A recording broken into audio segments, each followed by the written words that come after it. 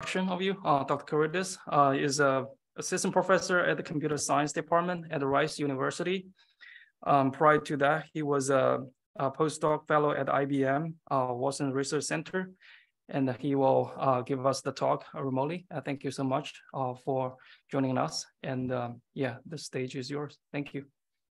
Thank you very much. Uh, I hope you can hear me well. Uh, I it's really unfortunate that I cannot be here, but actually I'm I'm in Eastern Europe right now. It would be a, really a stretch actually to fly back uh, to Vancouver. I mean, we just arrived from from Houston, um, so really unfortunate. I'm really sorry about this. I mean, I would like to to be part of this uh, uh very nice workshop, and I would like to thank the organizers for the invitation. Um, the topic of the workshop is about federated learning and vision. So the talk that I'm going to present is um, not only about federated learning, but it's going to be in general distributed learning, the efforts that we have made the past three years at Rice University.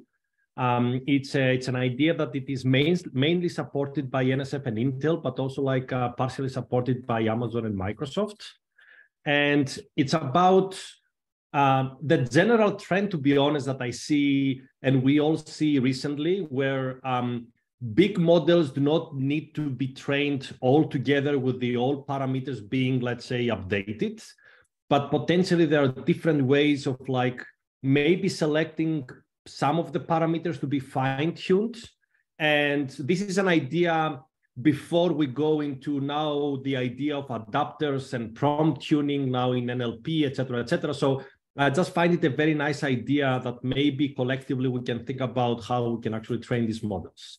This is a joint work with several uh, co-workers, um, but mostly I would like to mention Chris Jermaine uh, from Rice CS that we joined with, uh, uh, thought about this idea. Okay, so it is about efficient distributed learning via the idea of like subnet training, and I will go through it right now. Before I start, actually, the only thing I want to say is that I cannot see you guys. So if there is any question, please come and talk, like speak up if you want, if there is a micro, uh, microphone, and I, am more than happy to answer any questions that you guys might have. Okay. Um, so what is the idea? And I will start directly. Um, what is the idea of the, initially we called it independent subnet training, but actually it is generally subnet training. And uh, I will tell you the story, like how we thought of it, like from the very beginning, how the idea evolved and what we have been recently working on. Um, so the original idea started very simply. It doesn't have to do with anything with like a vision. It was kind of like, let's start with an MLP and see what we can do. So what you see on the left, uh, left-hand side of this slide is um, a bottom-up representation of a multi-layer perceptron, where you have the input layer, three hidden layers, and the output where you can see things can be dense, like uh, MLPs, and even now they're a basic, let's say, component of neural network training. Even right now, we're even thinking whether the attention models are actually large MLPs, like, like the MLP mixer kind of like idea. So it is a basic and a very useful, let's say, model to start with. And you can see that it can be a dense, actually, it is a dense operation operator. Like it might be simple, but if these layers are super wide, then all these uh, edges represent weights.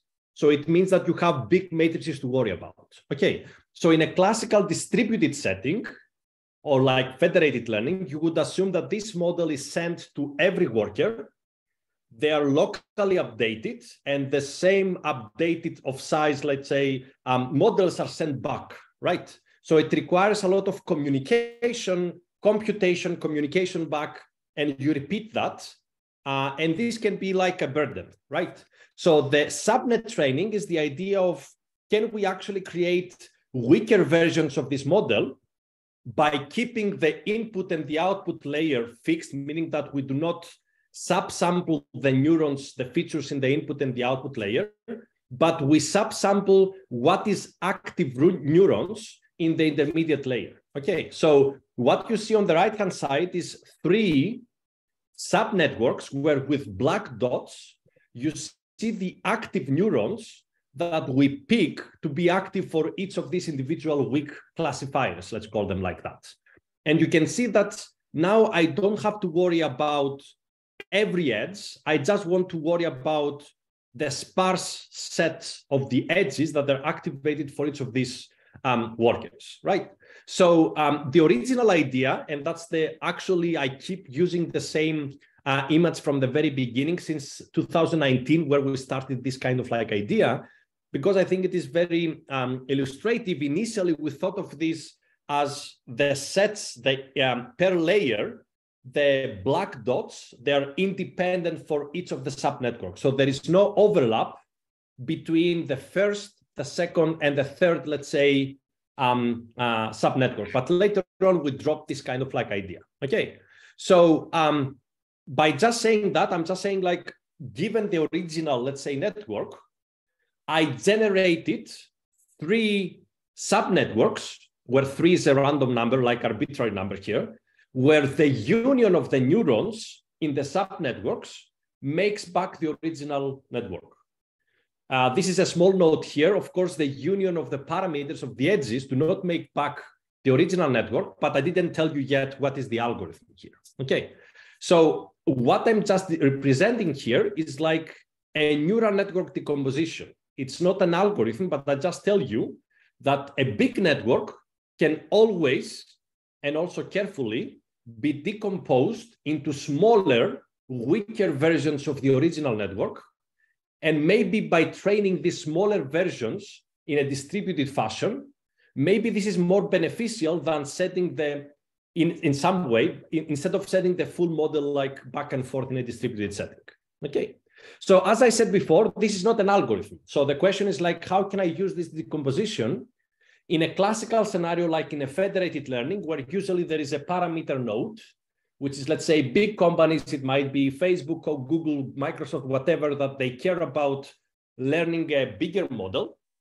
And you have a bunch of workers, let's say, uh, and for this kind of like a workshop, let's consider them as smaller, let's say, devices, which actually really uh, fulfill our needs here. Okay, so what the parameter node, like the, the centralized node sees is like an, a current version of the whole model, right? So they see the big model. And what you would do actually in the independent subnet training is instead of sending the current model and copy that for every worker, you actually sub-select and you select indices and you say different indices are going to be sent to each of the worker so that each worker actually is agnostic of the full model at this point. They just see a smaller model to worry about. Okay. And by the time they get the current model here, XT represents the current version of the model, but also they do not consider the full model. They only consider the corresponding indices, okay, assigned to each of the worker. They can do some, and like as we do in federated learning, a, a specific number of like local SGD updates. Okay. And that's not the end of the algorithm because as I show later on, if we just decompose that once and we leave, like we let these um, smaller networks to be trained fully, right?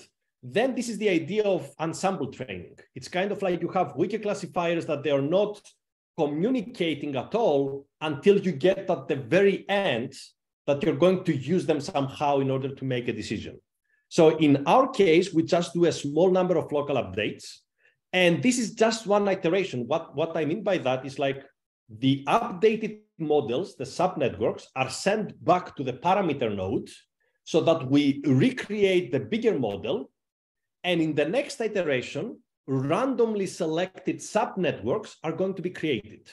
What I'm trying to say here is that it's no, it's different from ensemble methods because per iteration, with high probability, we're not going to see the same subnetworks created. It might be ca the case that in the next iteration, worker one might see neurons that they were actually updated in the previous global iteration from worker five. And somehow this helps setting information implicitly among the workers. Okay. So before I continue, I know it is very diff difficult And because I'm remotely, if there are questions, I would like to answer them, given that right now it is a very basic model. So if there are any questions, I don't want to interrupt with your, let's say, the way that you thought about it. If you think that I should take questions only at the very end, let me know. But if there are questions, I can answer them right now um, from the from the audience. Yeah, th there there is a question. Uh, can you please come to the podium? Yeah. Thank you. Can you hear me? Yes. Okay. My question is, uh, so when you're saying that you're only providing it with sub subnets, there is the these workers, they're not seeing even the embeddings or anything of that sort? Uh, whether there are any, what do you mean uh, to see any embeddings? So is the worker not seeing any full version or anything that's a vectorized version any anything at all? No nothing. Like like yes yes. So they just see a smaller version. It's not that we distill an information or we embed or we compress or whatever. They just see a smaller version of the big model. Okay sounds good. Thank you. All right i think we're good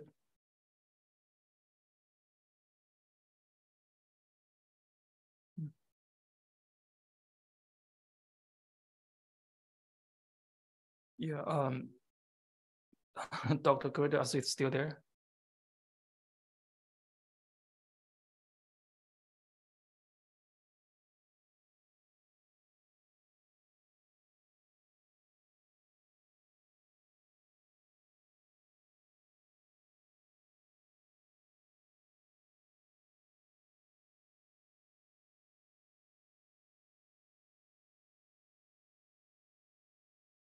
Okay, think he, there's an internet issue.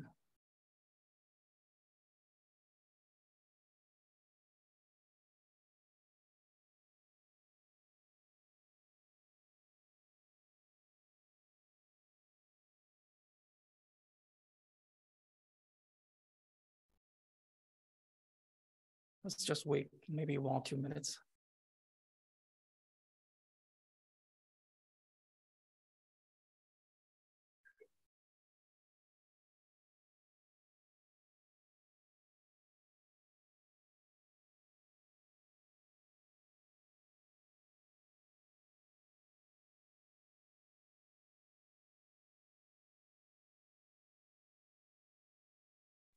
Many sorries for that. I don't know why this happened, but let me actually continue yeah. from where I was. Sorry okay, for that. No problem. So, so um, let me actually. So, what is the vision that we have as a group? Is like whether we can move away from the. It's not like a bad thing to do the regular training as stochastic gradient descent, where you see the full model, but whether there are like approximate ways of doing training. Okay. And this is not the first, like we're not the first to think about approximate training, and I will actually try to connect with existing results. For example, there is this idea of skimming where you have a big network and at some point you make a decision where you say, you know what, I'm not going to see all the components, all the blocks of the neural network, but I'm going to drop some of them for some of the iterations to approximate the training, right? Uh, there might be cases where you actually you decide to do an early exit. Still, this is an approximate training because you make a decision not to see the full, let's say, stack of like layers that you have, but you actually say, stop here and exit because I'm happy with that. And recently we have this kind of like ideas of uh, sparsely activated uh, MOEs, like mixture of experts, where there are some layers within a big network where you decide to split them and because there is like usually it is a very wide MLP in this particular case, where um, you say that uh, part of it is going to be, um, I'm going to create different experts out of it by splitting it. And then I sparsely activate this. All these are kind of like ideas of approximate training. And IST fits in this idea because I'm, I'm, I'm not saying that it is like uh, um, let's say, a completely new idea and breakthrough, this IST, like independent subnet training, is nothing else but unstructured distributed dropout. The idea that I just described is dropout. I just say that for this iteration, I will decide which of the neurons are going to be active. And I'm going to do that in a distributed fashion many times. like for many workers in order for them to be updated like in parallel and be combined and you actually keep doing that. Okay. The question is like can we actually so what are the main questions if i want to say is that instead of just saying this abstractly can we actually focus on neural network architectures to see how we can actually tune and and and and, and make sure that these algorithms work per different architectures whether this is useful for scenarios like federated learning and whether we can actually provide theory about this. Um, this also from a different perspective instead of just algorithms also connects with systems. Like systems in a distributed training it's not like a new idea since 2010 let's say for neural network training. We have the ideas of data parallel and model parallel. For example federated learning is mostly data parallel where the full model is sent to more usually to every worker but they have their own local data and that's kind of like the, the main idea uh, there are more recent approaches like model tensor parallelism 3d parallelism and we have notable implementation, but not in the federated learning scenario. Like we have the cases of Megatron. Um, uh, Microsoft has the ZeRO-Infinity at DeepSpeed kind of like ideas, where they're mostly used in scenarios like um, I have a large model and I would like to use a cluster of GPUs in order to train it. But in a federated learning scenario, you have to uh, figure out also like different ways to do that because now um, you have to consider that it's not like always like a GPU at the very end. It could be like um, a lighter, let's say, um, uh, um, uh, let's say a worker. So what is the our idea, if I want to compare it, is an end-to-end, let's say, it's still model tensor 3D parallelism, but it is actually approximate. Because the main difference of IST, the way we split the model, is that, for example, the Megatron is the idea that still splits the model right?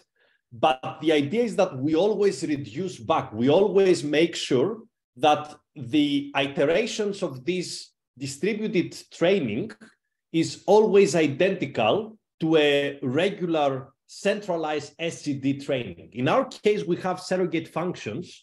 And the only question here is like whether the path of this approximate training that we follow in a way follows or it is quite similar to a regular, uh, let's say, uh, gradient-based training um, without losing much and actually having gains in, in efficiency. Okay, so this led to a series of papers. Um, uh, it was a little bit difficult for us to convince at first the reviewers. The idea exists until like since 2019 at the end of that, beginning of 2020, we live in the machine learning, let's say, world, a lot of rejections. Uh, we managed to publish the first paper in the VLDB 2022, to be honest. But since then, I mean, that's the good thing. I mean, we managed actually to put IST on map and we we we could publish more papers on that. Okay, and I will tell you like what was the story initially, starting with the VLDB. So what I actually described to you right now was the case of the on the upper left corner, which is the VLDB, where we started with MLPs because we thought that this is the main bottleneck in distributed training. Like you might have convolutional layers, but if the, the at the very end you have, let's say, wide layers, it could be like the majority of the computation and communication that you're going to do. So we consider the case where yes, you might consider computer vision ideas and applications, where you have a CNN at the very beginning, which is global and always shared with everybody. We don't know yet how to decompose a CNN, let's say, layer. But the MLP part, which is most of the uh, weights for the case that we considered, it is going to be split in an IST fashion in a distributed setting. And we tried that. I know it is not um, the best way represented because I don't want to focus too much like on the results. But if you focus on the left hand, on the right hand side of the four plots, what I want to say is that we tried initially with full ImageNet. By full ImageNet, I mean the 14 million, 21,000 classes situation, where by having like four, uh, like uh, 21,000 classes at the very end, it means that there is at least one weight matrix that one of the dimension is 21,000. You cannot avoid that. This is the number of classes you have. So it is a very big, relatively for federated learning scenarios, let's say matrix, that in a regular case, you have to set it like as is to every worker. But we say, what if we actually split it, we make it smaller, and maybe we can gain something. And the results were, again, without getting into too much details here, we can get to the same performance or even better. I want to highlight that because that's a very interesting point in a faster way, both in communication like flops, number of bits, but also wall clock time. So that was a very encouraging thing that when we focus on MLPs, IST makes a lot of sense.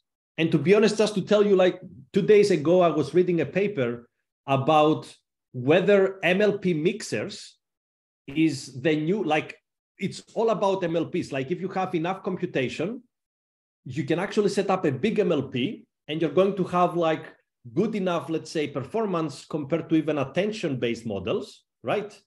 And it is even the case that you can increase the dimension of your model, but you can keep the sparsity, like the active neurons, as a small one. And this actually increases the accuracy of the models. Like in general, the, this is an open question that I'm very interested in. And I would be happy actually to discuss it, whether that's the reason why IST actually performs better than training the dense model, to be honest.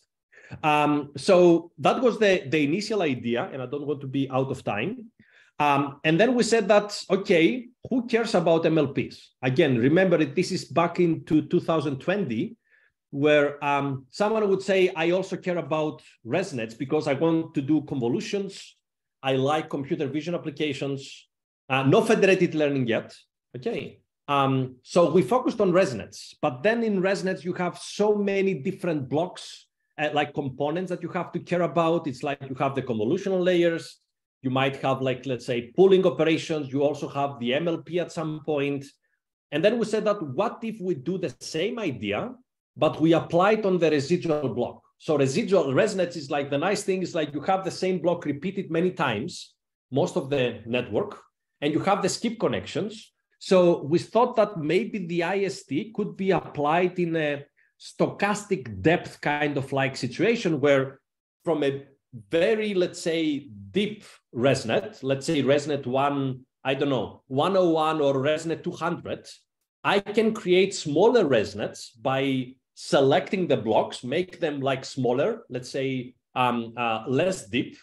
I train them locally to every worker, this, let's say ResNet 50 to every worker, before I actually go back and I recompile the ResNet 200 and I keep doing that. And it turns out that it works really well in a distributed fashion. Like we managed to really reduce, I'm not talking about even abstract, uh, let's say numbers like flops and giga, uh, gigabits in terms of like computation and communication, we reduced the wall clock time. Like we managed to achieve close to, let's say the actual linear, let's say um, speed up so for four machines, we managed to have something close to 0.5. Um, given the small data set we tried with eight machines, we managed to do like almost four times, like we couldn't go beyond that. I think that this is also the limitation of the data set and the model uh, and the model size. But that was quite like encouraging if you compare it to the regular training. You can actually get the same accuracy in much, let's say, less less number of like um, actual work, work clock time, let's say seconds. Okay, and that was kind of like the next step, going into more complicated results. There is this also like idea that I really like also proving things. So the question was like, what about theory? Uh, whether what we're doing is kind of like arbitrary and maybe it's kind of like pure luck. It turns out it is not. We managed to theoretically explain, starting with MLPs, why this works, whether there is a connection between the over-parameterization and the number of workers that you have in your system. So the main, so the answer here is like, if you really want to use, let's say 100, let's say workers, you cannot split the model as narrow as you want, because then you're going to end up with weak classifiers that, that do not make sense, like they do not help at all. So if you really want to use like a lot of workers, it means that also your model should be bigger enough so that the smaller subnetworks you create is not like they're meaningless. So there was this connection between all these things, and that was very useful and published like a, a TMLR. And it, we managed actually to extend this to different, let's say, architectures. We have like proof and connection of all these things, also for SNETs. And as we saw later on, we said that what about other architectures? We tried graph neural networks, um, where we actually managed to say that this goes beyond, let's say, just regular, let's say, Euclidean space, let's say, data sets. Now you have graphs, you have the adjacency matrices. All these things actually work really well. To be honest, like GCN is nothing else but a a variant of MLP also, um, to be honest. And the nice thing about it is was at least back then, through the IST, we managed to be the first to um, really consider super wide, ultra wide GCNs. Like what you see here in this bubble, this D is the width of the original GCN. Like we consider GCNs, graphical convolutional layers, with width of number of neurons being at the level of 32K. And we said that if you just call PyTorch, it will not run because it is out of memory in order to handle that. But we managed to say that if you care, you're careful about it, you can still run these models by splitting them into smaller subnetworks and then combining them back. And yeah, that's kind of like the main highlight of this kind of like um, uh, uh, idea. Okay, so also it is theoretically justified. I don't want to go into that. Um, but yeah, this is kind of like the first, let's say, set of results we got on, on like IST. And we're really like, like I really like the, this idea because um, this slide is more like not to put necessarily a stamp here, but it's just to say that this is an idea that also other teams also liked. Um, uh, not necessarily to be honest citing us, but I saw that there are more papers and more ideas that they go towards, let's say, sparse-based, let's say, training. Uh, the only paper that I remember reading before our paper comes from Google, that comes from this 2018 paper, where the idea was like only just a paragraph in a paper where it was actually saying if you have a big matrix of a neural network, just split it into smaller parts and then send these same smaller parts to every workers the same thing to be trained and accumulated and you keep doing that. So it's it's different from what we're actually proposing. And now you see like i know that it might be nicholas like uh, nicholas lane on the uh, on the call. You, you have fjord uh, which is like a, an idea um, co-designed with samsung that is like uh, from google the, the partial variable training um, uh, also federated dropout and federated pruning. And I keep, I want to keep this list as the actually grows larger um, about how, what we can actually do with um, sparse training in federated learning scenarios. Um, so it's not the end of the talk, but I just want to say what was the initial take home message is like IST could potentially be a slightly different distributed protocol because you split the model, you split the data if you want, um, it's not the regular, let's say, dynamics training dynamics of, of gradient descent. You still do gradient descent, but on surrogate functions that potentially has impact in communication and computation and actually in wall clock time. Okay. And there is also theory to explain some of the design choices that we actually made. Okay. So the question now that I want to kind of like go and start closing this talk is like, where do we go from here? And of course, this is a talk, this is a, sorry, this is a workshop about federated learning. And that was the original question that also, uh, because it was co um, uh, um, uh, funded by Intel, Intel was really interested in what can we actually do in terms of like federated learning.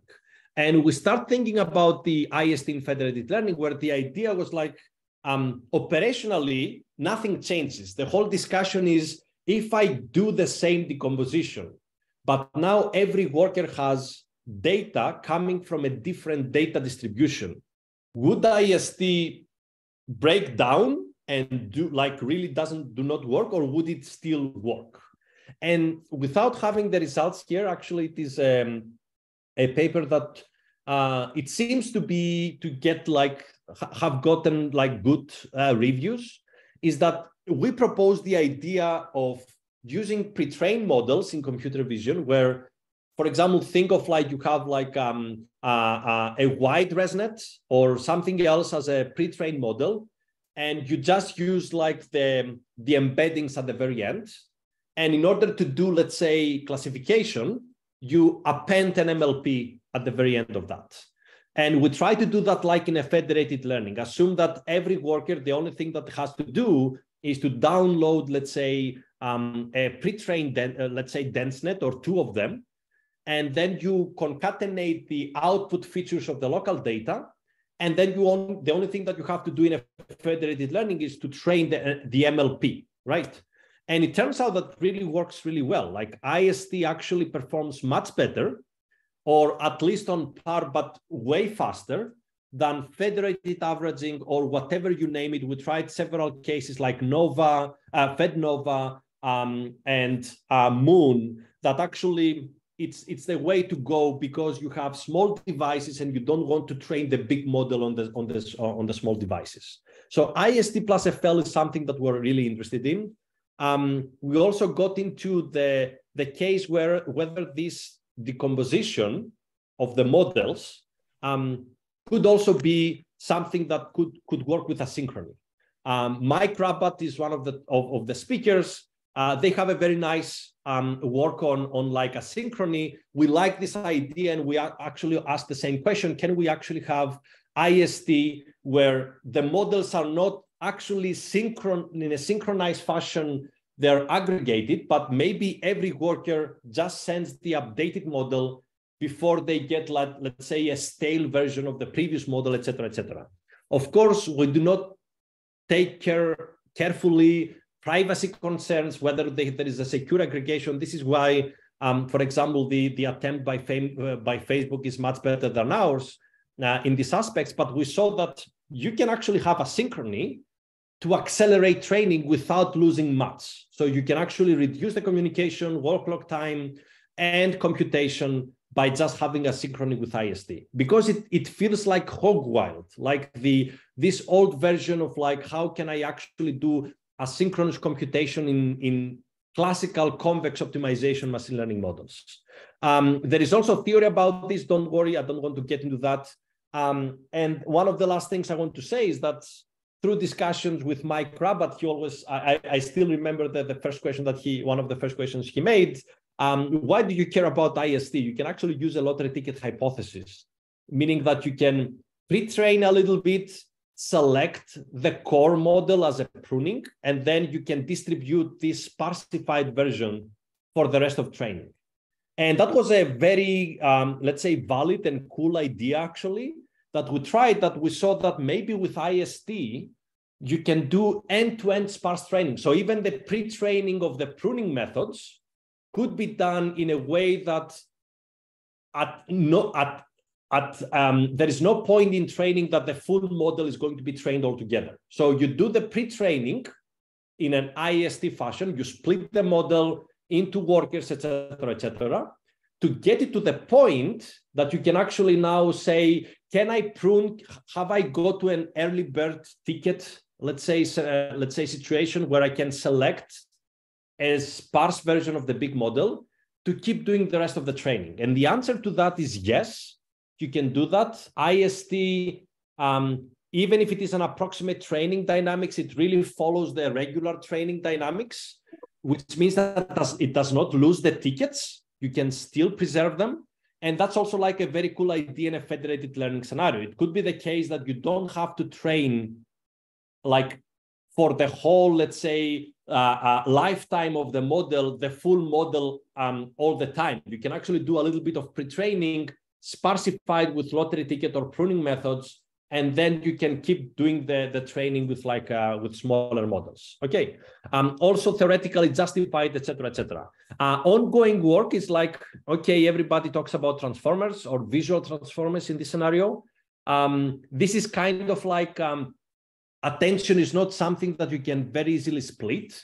We managed to do that but now we go to the point and i'm i'm also like um, uh, judging our own work where everything is about adapters. Like nobody wants to retrain the whole model.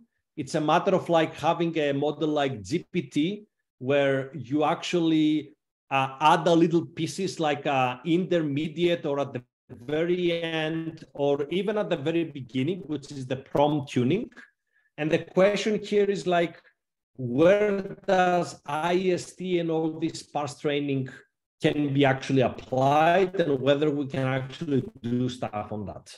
So this is something that which is, I would like to thank everybody. I think that I'm actually on time. Um, and again, very sorry that I couldn't actually be here because I think that it is a, a very nice, a very nice workshop. Thank you very much.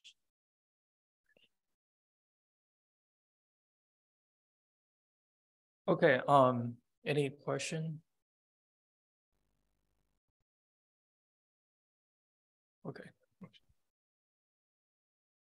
I maybe I missed this part, but how do you exactly split the parameters between the, nodes? Yes. Um, I, obviously, I skipped a lot of like um, details, but in most of the works that we actually did, and that's why I call it like unstructured dropout, is like randomly. We do not use any structure um, for the splitting.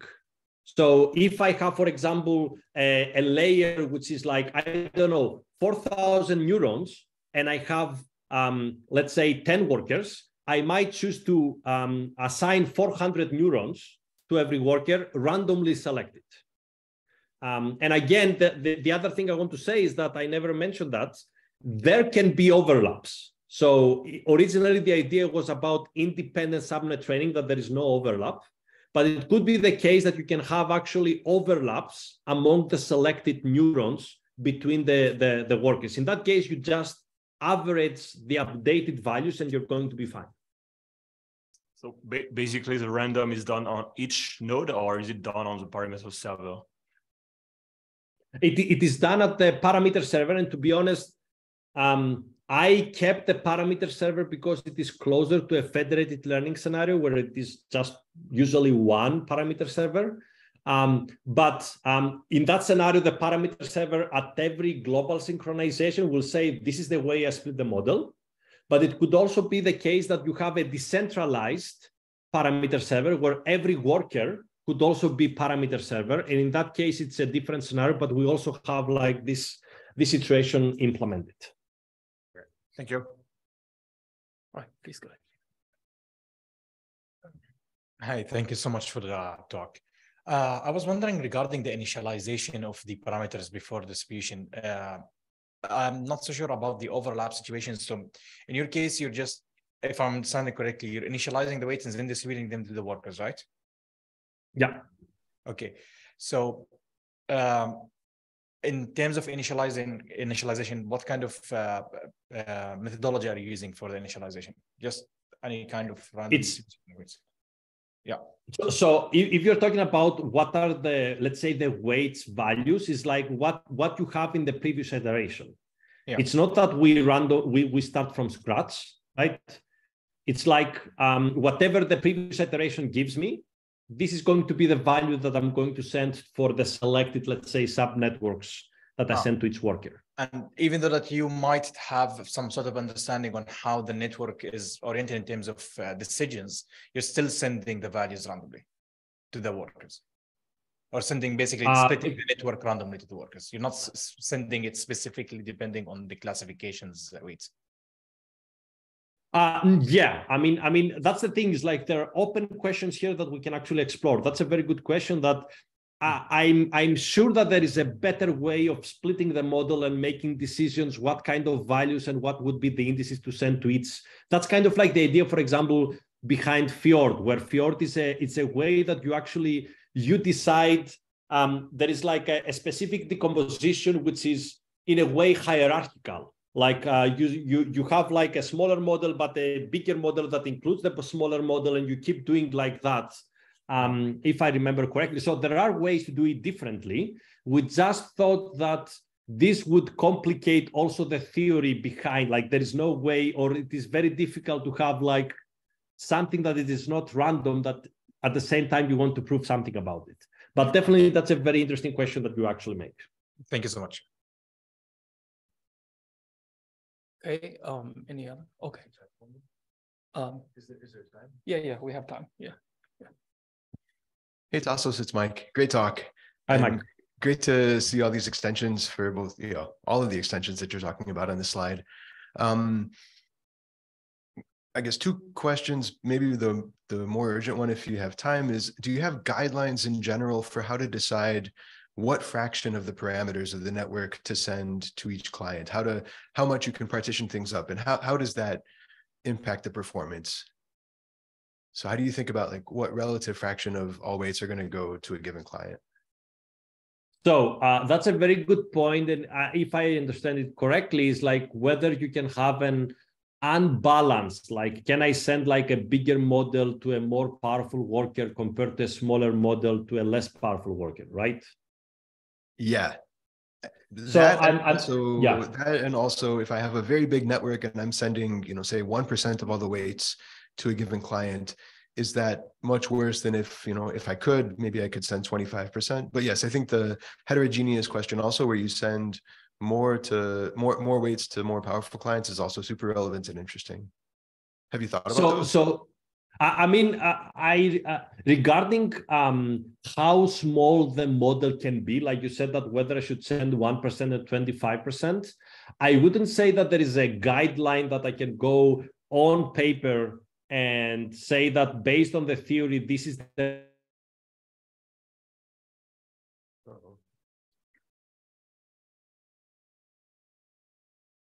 um, send the one percent in a on a for a, at a specific worker. Probably this should be such that this one percent does not lead to a very let's say small network because it's going to be meaningless. This is what I'm trying to say. Like there is no pure guideline, um, but it's kind of like do not overdo it and send a really really small sub model because probably it will hurt rather than help the whole process.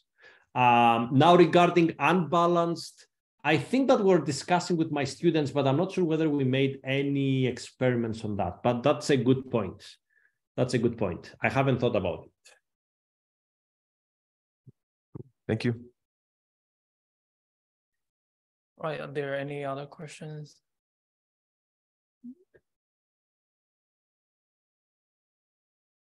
Hi, uh, I have a question. Yeah, yeah, go ahead. Uh, so in, in health application particularly, the federated learning works with differential privacy. And so my question is whether adding differential privacy or noise to the model uh, would it affect, uh, you know, uh, in this setup? Excellent question. And I really like that. I was hoping that uh, Mike is not going to ask more questions because it will be more work for me, but now you asked the right question. Uh, uh, so um, this is something that I'm very interested without being expert in differential privacy. I'm still learning about this, but I have the feeling like because the way we split the model is a random way, whether the this actually leads into um, um, privacy amplification because it introduces more randomness or whether it makes it worse. So back to your question, excellent question. We haven't tried differential privacy kind of like ideas. And I'm just curious, even from a theoretical point for a very simple model, whether the fact that you split the model makes the like the privacy better or worse. I'm not sure whether the audience is more expert than me or anyone there but i'm super interested about it, uh, this and i'm already like in touch with people to discuss and see whether we can do something about it. I, I i don't answer your question but i'm just telling you that i acknowledge that this is a, not exactly an issue but an interesting let's say open question. Yeah yeah i think maybe i can chime in a little bit. So i think that's a very interesting uh, question. Actually we did some work uh, we're using the parameter efficient fine tuning in the federated learning. So basically we have like say adapter. As you mentioned, like you append like MLP, right? The adapter is like a small network. So you don't have to tune the entire pre-trained network. You can just pay a small portion. So actually did the mm-hmm. privacy, differential privacy part. And we found out that uh, with this kind of, because you do the uh, gradient perturbation, right? So, but you are not perturbate the entire network you only mm-hmm. perturbate the small portion of the network. So we found out that um, the degradation of the performance is not severe as compared to like the full, you full train or fine tune the entire model. So I think that's one, maybe the benefit of this kind of sub network or small portion of the network. You just tune very interesting. With the federated learning. Yeah. More than happy to discuss that more, Chen. Like, uh, yeah. yeah, we can take it offline, but that's a very valid question. That, as I said, I remember reading Mike's work on like asynchronous, uh, like uh, federated learning, and one of the things that they care about is like secure aggregation, and what you're going to do and this is something that we kind of like skipped over just because we thought we thought that maybe we can let's try to do our own let's say naive way um, but i skip this kind of like vital things which are more like related in practice. Mm. yeah. Okay. Thank you. yeah i think we have a one one more question. Sure. Uh, yeah, hi. So regarding the previous question about the splitting uh, the whole network between the workers, uh, is it like more important to put more work, more beneficial to put more bigger parts to to the to the workers, or is it some kind of a threshold when it's when it starts to be feasible to and beneficial? So like regarding very big networks, you can split them into very big amount of more workers and they will have yeah. a lot of work. And uh, given small network, you, you you wouldn't have so many so many nodes to split between them. And how how how, how was what's like the, the threshold and trade-off between the, those? Very interesting question. Um, so if if the model architecture uh, is let's let's call it like it's not that I make like uh, because I have a theory about this, but let's split this between MLP based scenarios and non MLP based scenarios. For example, for the case of ResNet, we saw that it is more difficult. Like there was also like often the case that you need to fine tune them, like to really tune the model to not have like a small 1% gap between the regular training and our method. So, so we're, we were losing by one or 2% if you don't tune it enough, which means that having bigger and bigger models probably goes closer to what a regular gradient descent will do, and probably it's more beneficial to do that. It's just like the trade-off. I, I have to send bigger models to the workers, and they have to update bigger models locally. So it's going to be a trade-off. Then it's going to be more time for that, but I'm going to close the gap.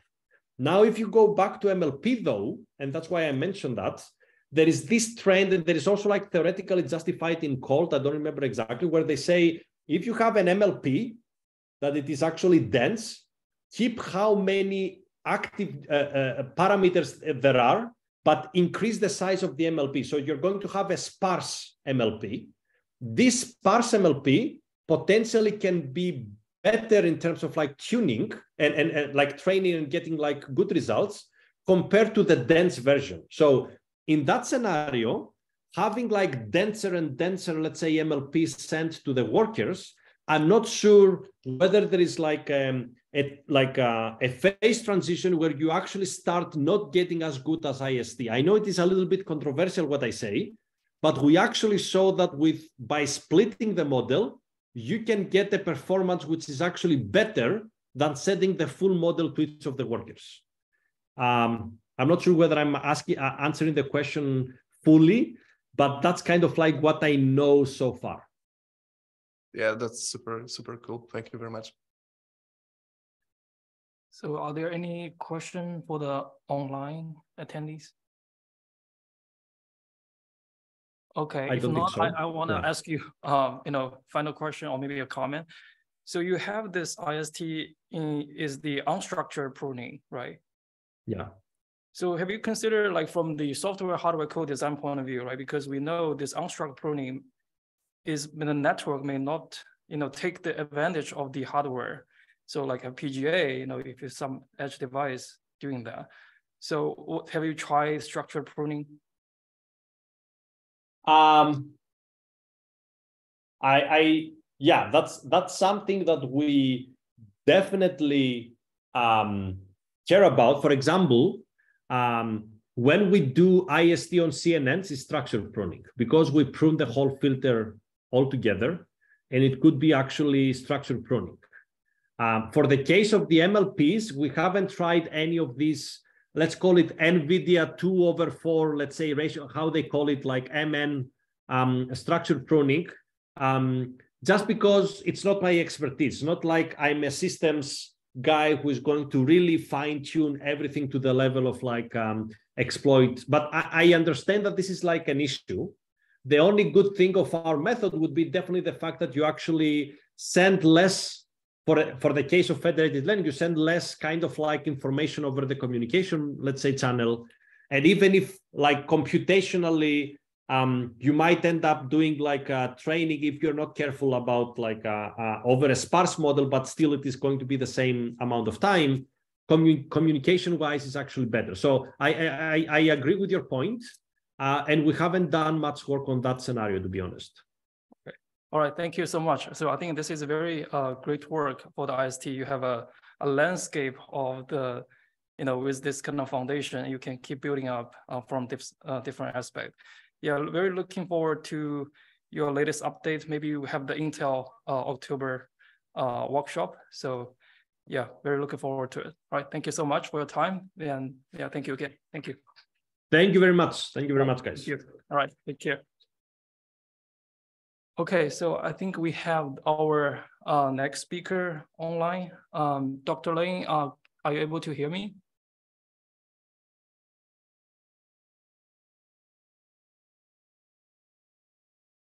Uh, can, can you hear me? Hello? Yes, yes, I can hear you. So, so I think, um, yeah, I think we can uh, get started. Uh, so I will do a quick introduction. So Dr. Nicholas Lane is a full professor in the Department of Computer Science and Technology at the University of Cambridge, where he leads the Cambridge Machine Learning uh, uh, System Lab. So we are fortunate to have you give a keynote talk. So uh, if you're ready, please go ahead. Thank you. Sure. Thank you very much for the um, kind invitation. Um, it's great to be here. Let me just start by um, sharing my um, slides. Uh, let's move into um, presenter mode of the slides. And okay, and then share it with Zoom, share screen.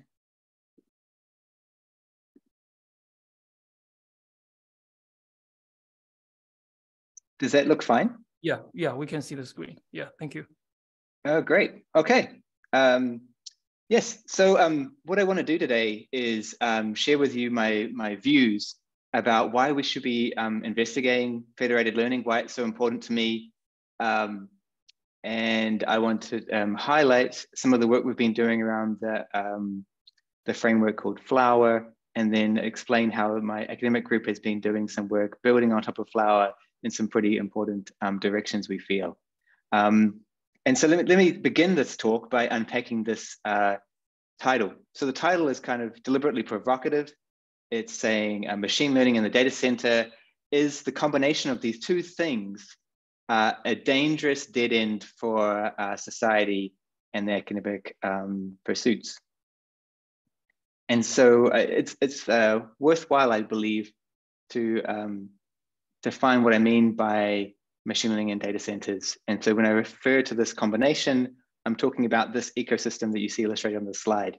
And so this is the ecosystem that we largely most consumers today can't escape, whereby if you're using Google search, if you're using a smartphone, you're going to find um, hundreds of models. And in the case of Google search, an inescapable, the sort of um, workflow of models um, when you do a search or do anything else even when you're using something like Netflix, you go home, relax, you can't uh, escape this ecosystem that's that's evolved, whereby we have, of course, these giant neural networks that must therefore reside in um, large GPU-based data centers, which are also combined with this need to consume large amounts of static data. And that's what this ImageNet icon is showing you here. So it's this ecosystem here that I want to put forward that while it has provided us with a lot of you know, beneficial types of technology, things like Alexa wouldn't exist without um, this type of uh, ecosystem. Uh, I think looking back 10 years from now, we'll see a number of negative externalities um, that we really are going to be disappointed in that society ever kind of really engaged in. And so I think it's I really want to emphasize how bad I think this might be perceived in, in history. And so Um, let me give you a couple of examples. Um, back in the 60s, people thought it was fine to smoke. Doctors even recommended, hey, smoking's fine, it's completely healthy. You saw adverts like this. And decades later, people realized that smoking was, you know, it, it had terrible negative effects to, um, to people who engaged in it. And so we basically wish we never uh, sort of promoted this type of technology, this type of activity. Um, it's not the first time though. Uh, another completely different domain, lead paint. There was a time when we painted um, the interior of uh, rooms uh, with lead paint. It was you know, sort of to be fine at the time. There was a technology that we were fine and happy enough to use it for a period of time. We realized the negative side effects of this and we pivoted away from it.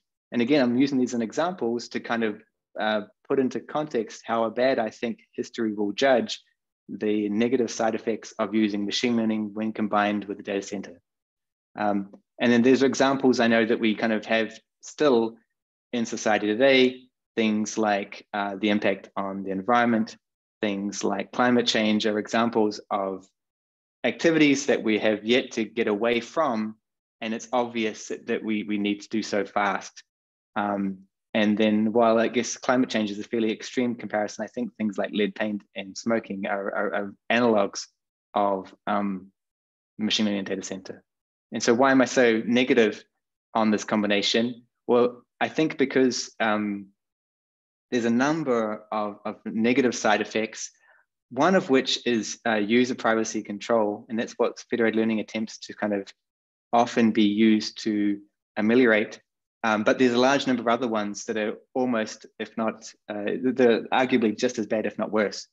And so one I want to highlight is um, the brittleness um, of the safety, uh, the brittleness of the systems that are built on this ecosystem. So if you're talking about robots, you're talking about smart devices like the smart stethoscope, if the intelligence of these systems reside in the cloud, if it's all data center based machine learning, um, it doesn't take much for these devices to become dumb again. And that's just a break or a slow down in the connection with the, the host um, cloud system.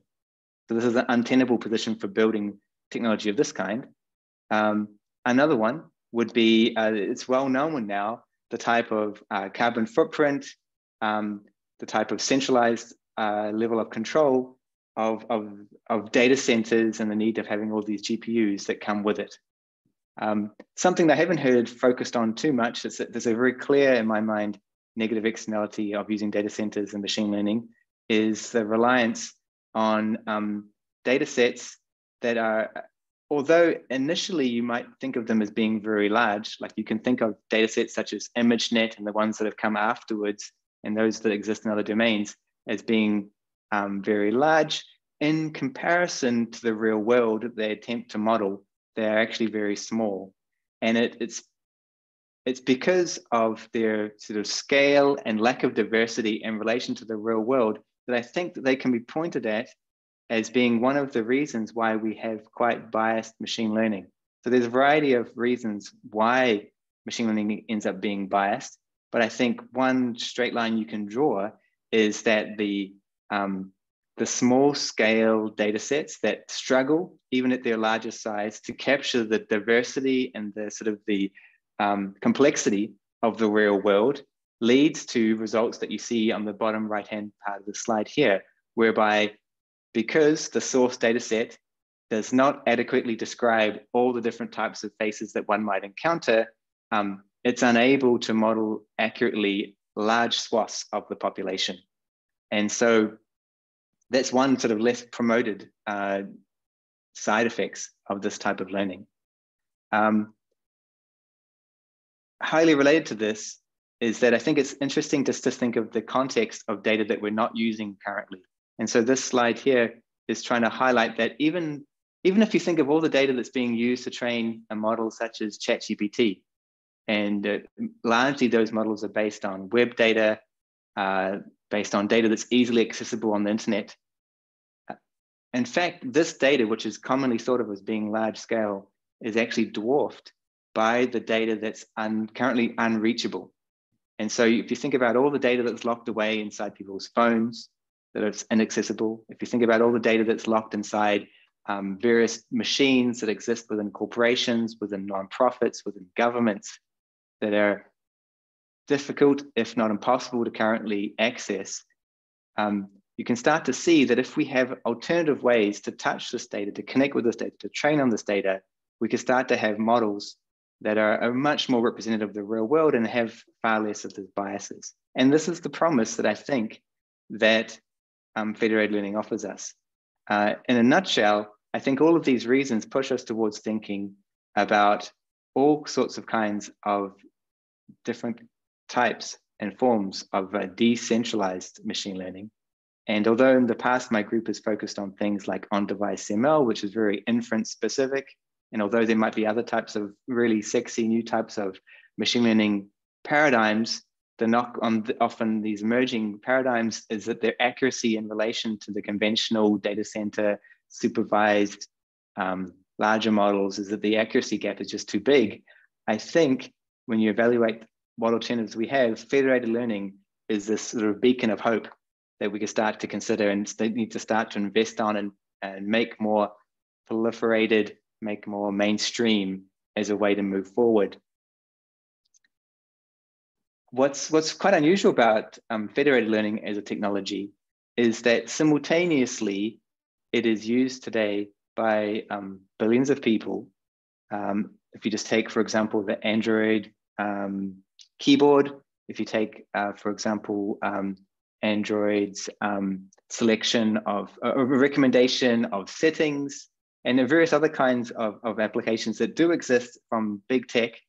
Um, interestingly, this technology is again used by, by many, many people for some uh, you know, daily applications, but also simultaneously, if you think about it, none of the breakthroughs in machine learning in the last N years are actually driven by it. And so it is sort of divorced from the current evolution of machine learning. Um, ChatGPT, uh, AlphaZero, um, any of the models, any of the models you can think of and throw at me right now uh, none of these were trained using federated learning principles. And so federated learning as, a, as, a, as an approach is completely separate from the evolution, the current evolution of, of ML. Um, it's being used uh, by many, many people, however. And so one could argue that it's currently in the sort of in the sort of sort of um, hybrid state, whether it's not it's not really being used in the mainstream to solve uh, you know the next steps of ML, um, but it's clearly being used in some places, although those places are relatively niche. And so the question we ask ourselves, the question that I really want the federated and uh, people using federated methods such as CVPR community to think about is how can we transition federated learning to becoming much more widely adopted? Um, when we asked ourselves these questions, um, we came up with a, a large number of hurdles as to what prevents federated methods from being much more widespread some of these would be very obvious to this audience.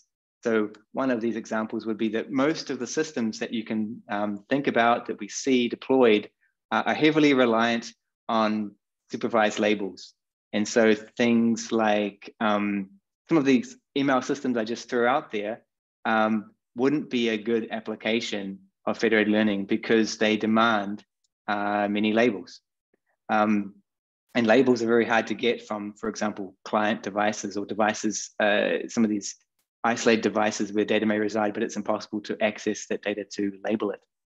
Um, another uh, challenge is that, of course, because of, by virtue of the, the approach, uh, we don't have this uh, nice ability to handle um, IID uh, limitations in the IID in terms of how the data is organized. The data appears at these clients, it appears in these systems um, based on how it is generated.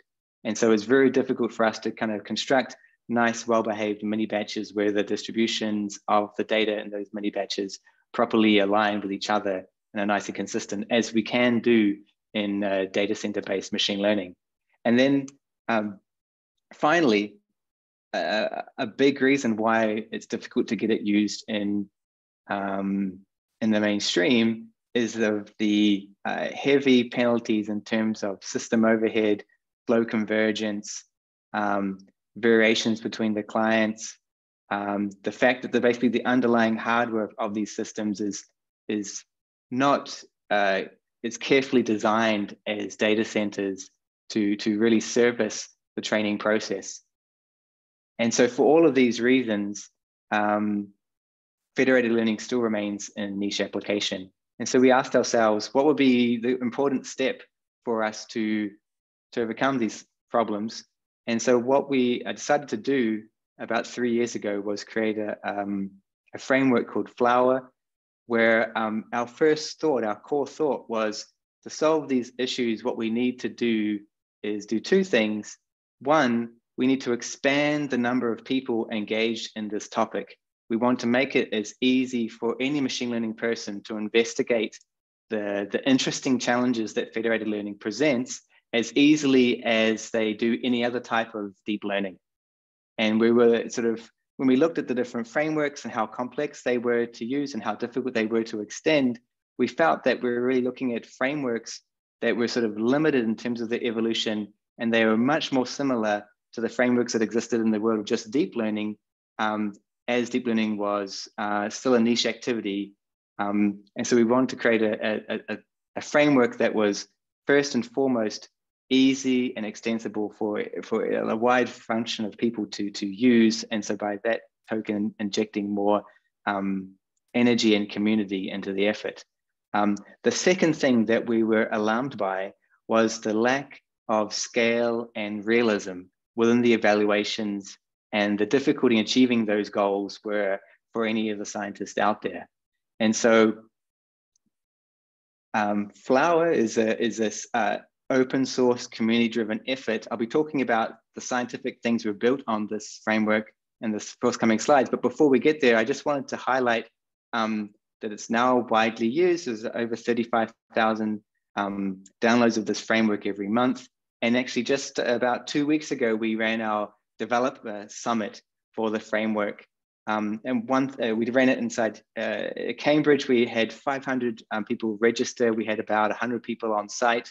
Um, and one thing I want to highlight to this audience, I think it's really interesting, is that we are um, within this framework, we're going to launch over the summer period, so July, August, and September, um, a program called Summer of Reproducibility, uh, whereby we're going to um, offer up 100,000 US dollars in um, awards um, given out for contributions to building um, reproducible methods from papers on a common set of APIs so that anyone can use them inside the Flower framework without having to understand the internals. And so if you're developing a new exciting method and you want to compare it against uh, a variety of other methods that exist in the literature, you can come to one place, use one common set of APIs, but I think not having to understand all the di different uh, implementation details and quickly benchmark what you've done against these prior efforts in a very easy way. So over the summer, we want to get to 50 different baselines. Um, and we want to achieve this by incentivizing people to build out or, or port their efforts into these common set of APIs that we've announced. So this is launching in, in July 1st. Um, but just to go forward, I, I also want to mention that any, any work I'm discussing here with respect to the Flower framework is really this big team effort. There are a number of the core contributors, but actually there are even more than this um, slide currently indicates um, of students, people working in industry, um, postdocs in my group, and, and so on, um, who are um, building out um, different parts of the framework to make it easier for people to jump on into federated learning and, sort of really start to innovate to solve those problems I was mentioning earlier. So this brings me, brings me to one of the core things we want to uh, help facilitate with this framework. Um, and I mentioned um, realism, but I want to focus not on the realism side, but on the scalability aspect. Um, the figure that you're, uh, you're seeing here on the left-hand side is um, showing you a, a number of uh, concurrent clients um, on the y-axis, the number of um, total clients in the um, pool. Uh, and this is for the evaluation of uh, more than 100 papers doing federated learning work. each of those blue dots are different papers. I indicated, for example, the FedScale paper there with this red uh, dot. And one thing we realized here is that although the motivation for many of these systems to have a large number of devices working together to generate these models in a federated manner, um, the very few of them were looking at um, the type of scale that one would imagine these systems to be deployed on. So they're building um, algorithms and then testing them under much smaller scale. And that is uh, largely a function of just how difficult it was to do experiments when you had a lot of different clients in the pool.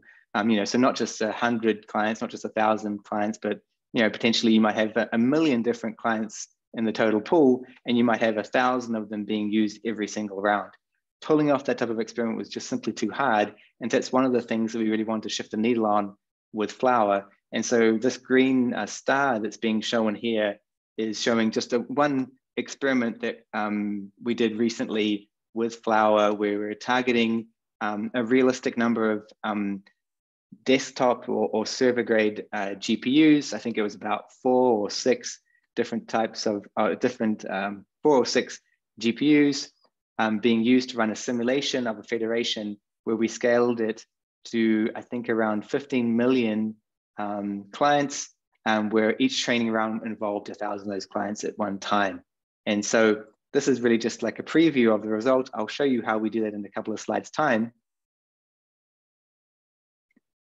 But essentially, the, the components I'll be talking about are enabling the Flower framework to um, virtualize the memory usage of the individual clients and then do a smart allocation of those clients as it's doing the simulation to provide um, this type of um, facility. And the, the Flower framework itself has a lot of different moving parts, like any framework might, enabling you to do things like um, run clients on real devices, um, uh, develop on a small scale, do a simulation at a slightly larger scale, and then eventually deploy all within the same framework um, uh, some new federated application based on a, on a cool new technique that you happen to have invented in the lab.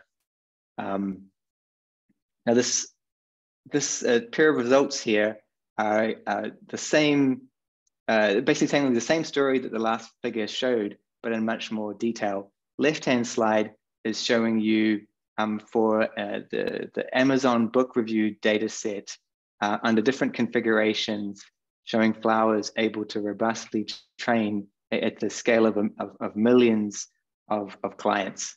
So this is important because um, for academics who want to investigate um, uh, the effects of their algorithm at the scale that one might see them be deployed in, in real world, it's important for them to be able to easily test them under the scale that you might see big tech run their federations. And so this is a gap that was um, was present for, for quite a while until um, frameworks like Flower we're able to provide this facility. Um, but scale by itself is not enough. We also need to be able to have um, a good enough speed as we're doing these simulations to make it realistic for someone to um, investigate the design space of an algorithm, understand if it's behaving well, um, and so on. And so this next slide here uh, that shows the figure on the right really speaks to the um, throughput of um, Flower when doing such types of simulations. And so this is for um, three different classes of data set. Um, we have uh, three different modalities. You have uh, speech, you have image, you have um, text. Um, we are comparing um, a recipe that uh, we call pollen included with the flower framework. And then you can see that um, the y-axis is a number of clients per second that are being executed during the simulation of these three distinct experiments in comparison to FedScale and Flute. And the takeaway uh, message is that um, FedScale and Flute are being outperformed by this combination of pollen and flower um, by three to five X. Um, so this has been you know, very important for people who want to explore the design space to start to crack some of those problems I mentioned before. So how do we do this? Um, I just want to sketch out um, two main um, components to this uh, solution. The first I alluded to before is called the virtual client engine. Um, if when you're running simulations of this large scale, one of the scarce resources that you have to sort of manage is that of GPU memory. And so again, remember that the, the problem space here is that I, I'm, a, I'm an academic, I'm running a research lab, I might have maybe four to eight uh, GPUs inside my HPC, and I wanna use that resource to simulate a large scale federated system. Now, um, if I do this naively, I'm going to very quickly run out of GPU space, uh, GPU memory on my GPUs, because if I have millions of, of clients, um, they're each going to have to have their own little piece of the data set and so forth. And so I'll quickly run out of memory. So what the virtual client engine does is um, carefully instantiate the memory required by clients um, as and when they're needed. And so when a client is not needed, it's um, taken off the, the memory allocation for the set of GPUs. Uh, there's much more to it than that, but that's the key idea. It's a nice, uh, seamless way to manage the memory um, as uh, simulations are being run.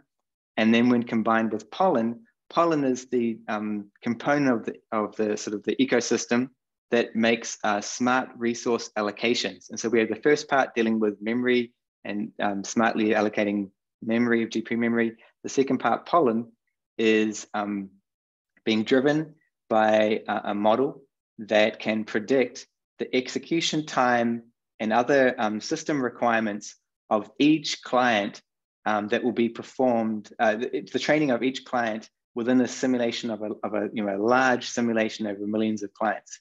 And um, this prediction engine, uh, if accurate enough, is then um, able to do the scheduling of when different clients run intelligently. So you're maximizing the throughput of um, clients being uh, being simulated, irrespective of uh, you're respecting the dependencies of this of the federated simulation, um, but you're allocating them um, to maximize throughput based on being able to estimate what are their resource requirements, and then you're packing them into each GPU and executing them in the order by which you can maximize the throughput. And so um, this combination of um, the virtual client engine and Pollen does um, allocation of work to the HPC resources in a way that's um, well tuned for the needs of a federated system, but is yet extremely uh, different from the type of allocation strategies that you would have for regular large scale training. And this is why you can't just use um, some regular type of um, HPC large scale deep learning training and use that allocation algorithm and scheme across your HPC to run a scalable simulation of a federated system. And that's why you need this type of um, approaches.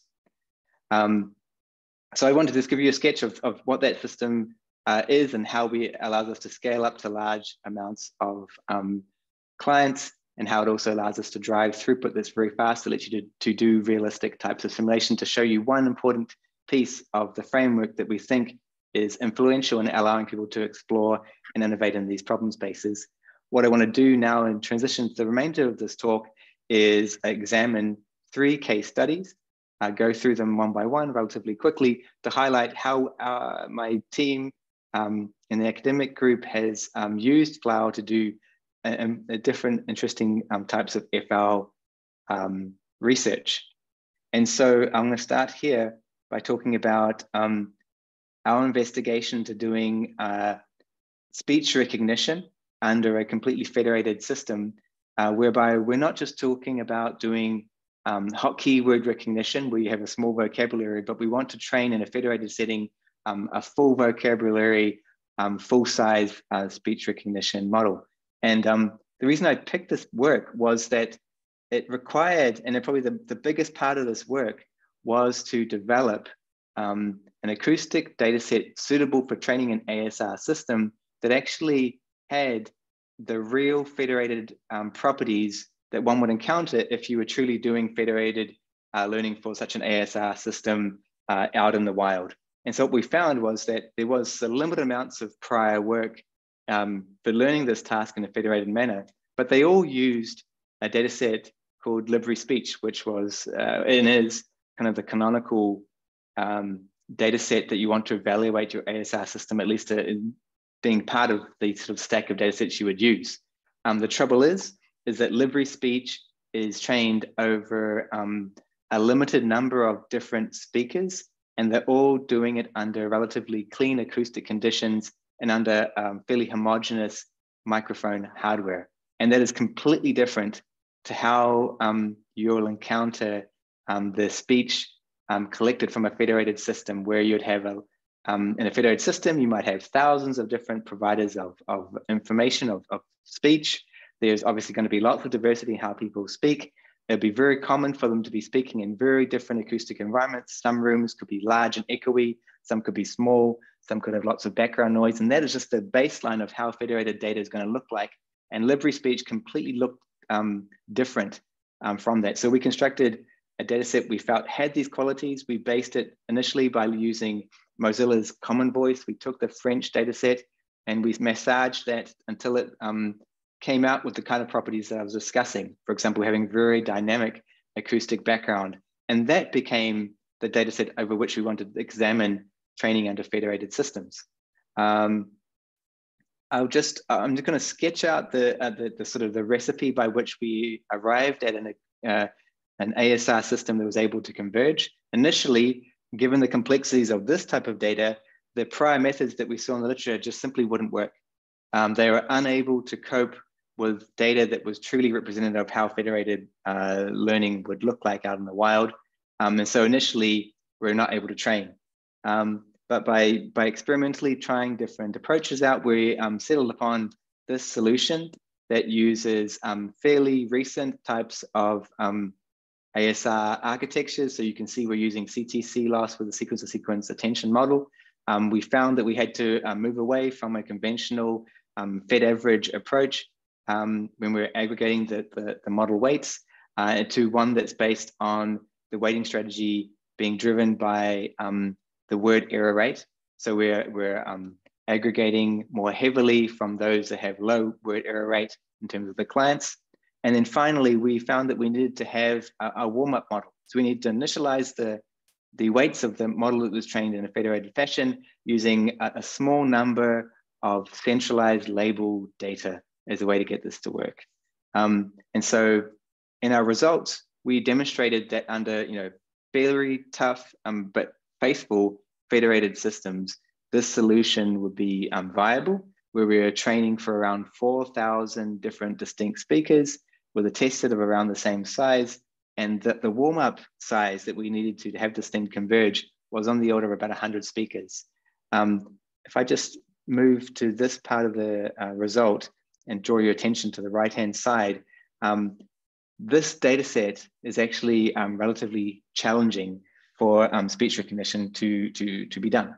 And so the types of word error rates that we observe are, are, much higher than the ones you normally would see for other data sets like LibriSpeech. We saw word error rates of around 20%. But what was important is that we found by um, adopting um, the latest methods in, in, FL and also adopting the, the, um, the methods that we developed um, for this particular task, we were able to approach um, that word error rate that we see in a centralized version relatively closely, which we thought was a, um, a quite a successful uh, indication of, of, speech recognition being possible, even under challenging uh, federated conditions. The, uh, the second uh, case study I wanted to highlight is that of uh, um, an effort we undertook to uh, measure the carbon footprint of federated learning um, as an approach. And so um, many of you will be aware that centralized um, machine learning is, has now been recognized as uh, producing a lot of different um, levels of, of high carbon, depending what you're training. And so this, this, uh, this figure here is taken from probably one of the earliest papers to really highlight this, um, this property. And so it was taken, um, it was based on training a, a, a fairly uh, SOTA NLP model whereby if you used um, all the bells and whistles, if you used things like AutoML, if you used uh, all the different hyperparameter tuning that was sort of common to train this model, you ended up um, uh, burning as and, and, and emitting um, as much carbon as five um, cars being driven for their entire lifetime in the US. So obviously it was untenable. People want to look how we could um, do better. And what we realized was that um, federated learning is still, you know, in this transition period of, of, of awaiting to be adopted more heavily. Uh, this would uh, be a good time for people to start to measure, build models of, of estimating the carbon footprint of its current design so that we can inform how it's designed in the future to avoid a similar types of consequences um, for federated learning once, um, once it's really being pushed into the mainstream. And so I just skipped the the next slide, I just wanted to highlight the, the kind of carbon footprinting method, the gap in the methodology that we had to fill. Uh, we, uh, it wasn't that hard to estimate data center types of carbon footprinting because those methods already existed. So you needed to kind of capture, for example, types of computation with GPUs. There's this issue to do with having to cool a number of GPUs that were in close, close proximity. So you needed to model how much energy required for um, the cooling. You need to uh, capture um, things like data transfer and storage, but they weren't as nearly a bigger factor as things like cooling. In contrast, the parts of the model that were required to be able to capture federated learning style workloads need to be able to accommodate a much more heavier workload being done on CPUs, as that was the common sort of um, hardware you would encounter in a client.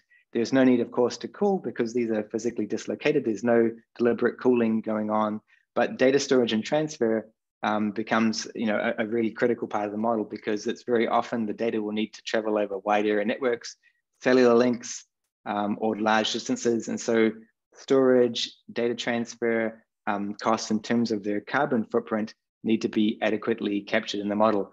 Um, other aspects included knowing that depending on where the components, these distributed components exist and, and operating, depending where those things are located, um, uh, you'll have different ratios of converting energy usage into carbon. And so, you know, France, given its use of nuclear um, power, has a good ratio in comparison to um, places like the UK in, in, as a relative comparison.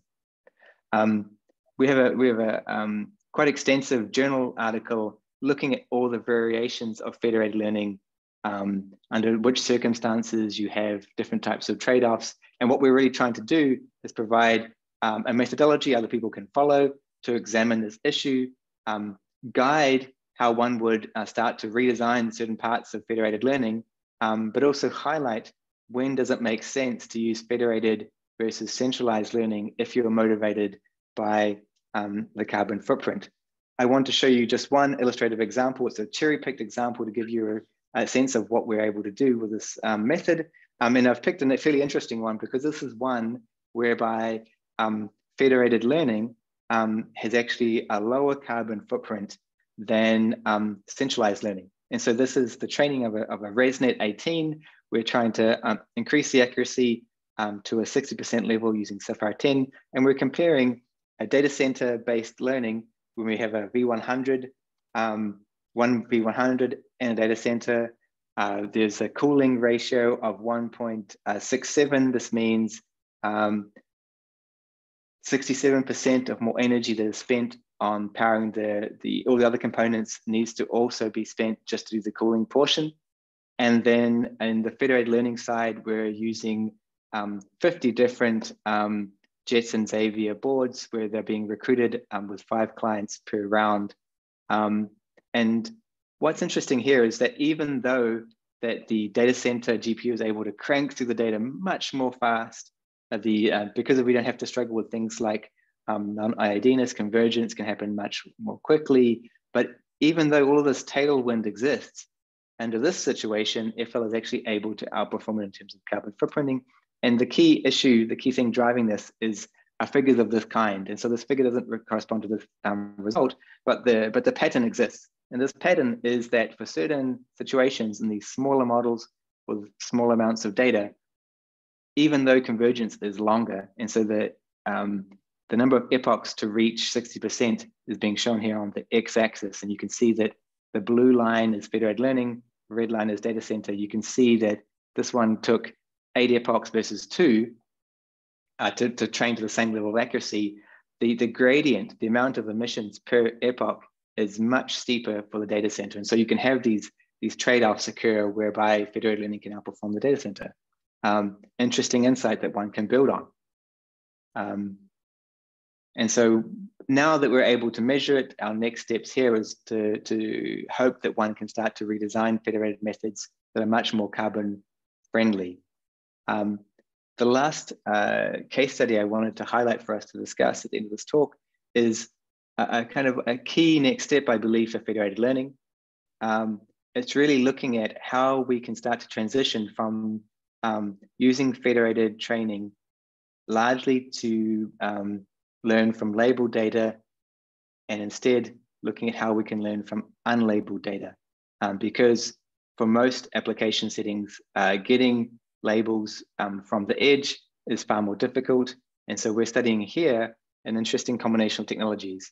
We're studying self-supervised learning when combined with federated learning under the context of video understanding. And I think this is the first time that these three different um, components have been come and put together. This was um, published in a, in a uh, last year at ECCV, and we designed a system called um, Fed VSSL. And so um, I'm not going to give you the details of the construction of the system, but I, I want to highlight a couple of things. That is, uh, under SSL, uh, the first step you want to undertake is the training of an embedding, whereby you want to uh, train this embedding on a number of um, tasks where the label is able to be um, computed. And so you might look at um, determining if an image has been rotated. You might look at um, if an image has an occlusion or a variety of other relatively simple tasks whereby the label can be um, easily inferred. And then you want to train the embedding um, to understand if, the, if the, for example, if the rotation is, is present or not. And then by doing this type of um, training, the embedding starts to learn a representation that is then useful for downstream tasks.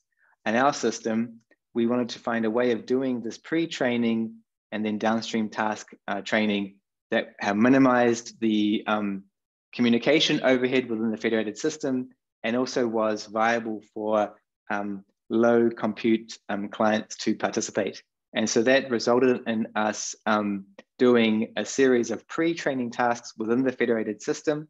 We have a particular type of weight aggregation um, and the way that the gradients are, are sent to minimize the overhead, but then the downstream task training happens in a centralized fashion. And so that's a reasonable assumption we felt um, because you could have uh, relatively small amounts of um, label data for a task like video clip retrieval or action recognition. You could collect these in a more controlled manner, and but then you could also start to benefit from um, very uh, rich data collected uh, from these federated um, edge uh, devices out there in the real world. Um, what we felt was pretty interesting is in the results of this approach. And so it's the first time, as I mentioned earlier, that we that someone has shown a system of this kind in operation. Um, we uh, benchmarked on the Kinetics uh, 400. Uh, we had, and now in the results you see there, um, 100 different clients. Um, and each um, client had eight classes it was doing uh, in terms of the embedded embedding learning. Um, and what was uh, an important takeaway was that we also observed that not only was the system uh, practical in terms of its system overhead, um, but its accuracy actually was better than the centralized. Um, not only it, it, was better not only than the, the basic vanilla form of um, federated learning using federated averaging, but our methods were also better than centralized, which is something you don't often see in most of these tasks. Um, so it was, it was um, quite, a, quite an interesting result. And to analyze this, we looked at the type of um, manifold that was being trained, and we found that the um, federated one was much smoother, less peaky in terms of its optimization um, point, and so it was easier for the model to, to find it. So was, uh, federated was acting like a bit of a regularizer. Um,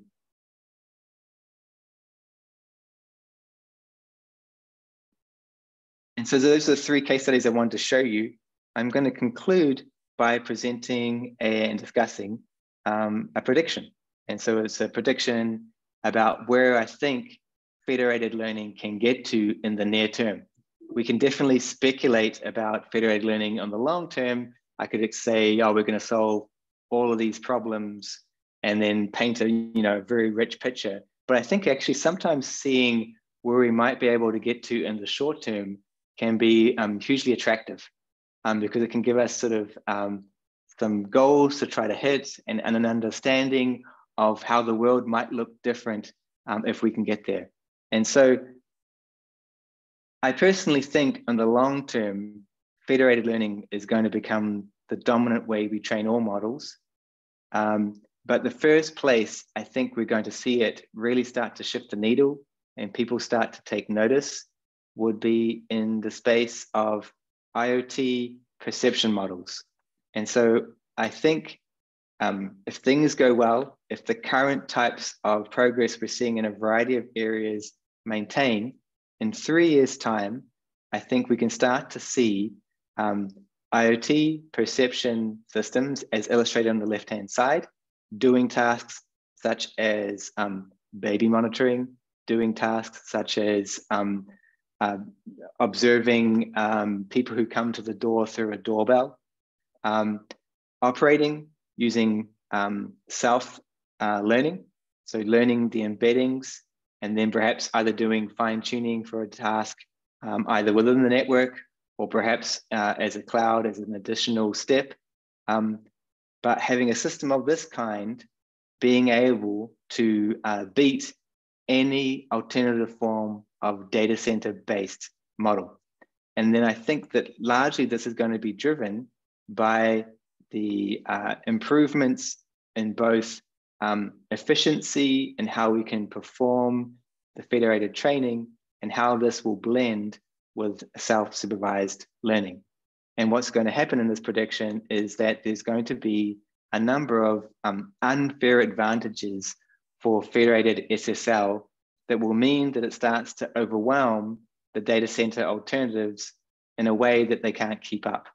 And so one um, core aspect of this would be, of course, that data centers could also do SSL type learning, but the sheer avalanche of data that we'll be able to access uh, and not have to move from the edge to the data center uh, will start to become a, a huge drag on data center alternatives. Essentially, those data center alternatives will have to use less data than the FL ones because the FL based um, systems will have already access without any cost to this data.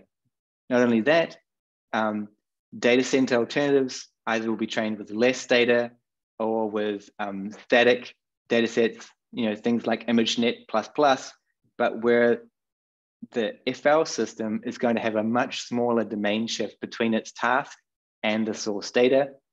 And then finally, uh, the FL system will naturally be able to cope with changes in the system in the, in the real world. Um, so as, for example, a, a, doorbell system recognizing people coming to the front door, um, in different countries, you might have uh, the postman dressing differently and the system will be automatically able to adapt to this. Or if from uh, one month to the next, uh, uh, the color of a delivery uniform uh, or how people dress or how people sort of uh, behave may change from one month to the next, and the system will automatically be able to make this um, adaptation without having to sort of really be radically trained because of the way that it's operating. And so these are the reasons why I think that this style of, of technique and, and model will be the first place that we start to see data centers being overwhelmed. But this will be sort of a canary in a coal mine because this will um, start to um, be the beginning of the end for data center dominance. And this will change um, a lot of things in how um, the machine learning ecosystem functions and operates. For example, it would start to diminish the importance of um, huge, ever increasing um, data centers, at least for tasks of this kind. Um, and so there's, there's an interspeech paper that, from last year, if you want to see us um, doing some of this projective analysis, although this was on the, on the domain of speech, um, uh, but we are looking at this, exact same sort of issue. Um, but I won't, um, I won't go into it. Essentially, it looks at the different um, challenges that one would have to overcome to make this viable. As I mentioned, I think it's realistic we could get there in three years from now, um, but there are a few moving parts that need to be addressed within this space. Um, so that's all I had time for today. I, I really want to um, provide time for us to have questions and discussion. Um, thank you for listening. And, and I also appreciate the uh, invitation to speak today. All right. Uh, thank you, Dr. Lane, for that. Okay. Uh, any questions?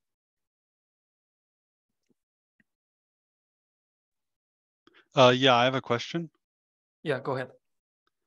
Um, so this flower framework, I'm curious how general it is. Um, for instance, I'm interested, and I'll actually be giving a talk in a uh, later this week, um, specifically for decentralized federated learning. Is this general enough that it could be applied to such a scenario? Uh, yes and no. So, I, I, so yes, in the sense that we have some uh, non, um, we have some we have some alternative ways of using Flower, some alternative APIs, and so on um, that are not part of the main branch right now that would facilitate this because we had a few requests of this kind. Um, so uh, if you if, feel free to ping me and I can sort of point these out to you and we can discuss this further. Um, but in the current main branch, because we were emphasizing on simplicity and allowing people to get um, up to speed um, very quickly, uh, the current design uh, doesn't support decentralized because initially it wasn't uh, sort of uh, required, but we're increasingly seeing this need um, moving forward. But I, I, really encourage you um, get hold of me because um, we're designing, we, we have a prototype design, but we're, we're kind of also improving it based on feedback from people like yourself who are playing in the space. Could, could I actually ask, um, what's the use case for you? Um, so yeah, um, I guess I'm just more interested in the infrastructure as a whole. The place where I'm presenting is at this DWeb camp. Um, mm -hmm. And yeah, I guess I'm just uh, an enthusiast and I'd like to help build out this infrastructure for, um, I, I, guess a lot of the reasons that you pointed out, just um, the privacy situation, uh, people owning their own compute, that sort of thing. Um, oh, yes. And Got you. so I, I guess that's that's my main motivation. And yeah, I'd like to see I'd like to see people's data stay with them and people be able to share knowledge. And um, I think that a big part of that is doing away with centralized servers. So a, a decentralized uh, method of doing this seems really important. And you know, if you have all the building blocks there, maybe um, maybe it's just uh, it's just a pull request away. Well, I think it's, it's a bit more of a change than that, but um, but we've been we've been working on it. But I think the it's always important to listen to how people are uh, what, what what are the APIs that they need and how they want how they actually assembling these things. Um, but I completely I'm, I'm, with you. I think the future of FL also is largely um, decentralized, uh, at least for many use cases that are kind of uh, motivated by those you know the core foundations of why we're trying to do this. Yeah, I, I think that you'll you'll certainly have nodes. I, I, I imagine sort of like a heterogeneous network where some nodes are trainers and some just do inference. Um, but yeah, I think um, uh, I think it'd be useful. Totally agree. All right, yeah, I'll probably connect with you afterwards. Fantastic, thank you. Okay, great. Um, are there any questions online? Oh, okay. Yeah, sure. Yep. Hi, thank you very much for the talk. Um, I had another question about the Flower framework. Does it currently uh, support or are there plans to support doing simulations involving other privacy enhancing technologies like differential privacy or secure aggregation? Yes, yes. So we have um, at the Flower Summit about two weeks ago, we announced um, the third version of our um, SA support. And so um, I guess the short answer is yes. Uh, the approach is that we have this modular design where we're trying to enable people to build the type of SA that they need that enables them to have the certain types of trade-offs that they really require for their application, um, but allowing them to reuse as much of other people's things as they can. Because we had noticed that the, the existing kind of um, approaches uh, were kind of a bit monolithic in the, in the way that they made, made you sort of engineer things. And alongside that, we are um, offering a um, kind of like a reference implementation that seems to be you know generically uh, useful for most people's applications because there is quite a few um, trade-offs in terms of the the um, uh, the quality of the model, how fast it converges, the overhead that it in, in, in, sort of enacts, particularly on the server and so on.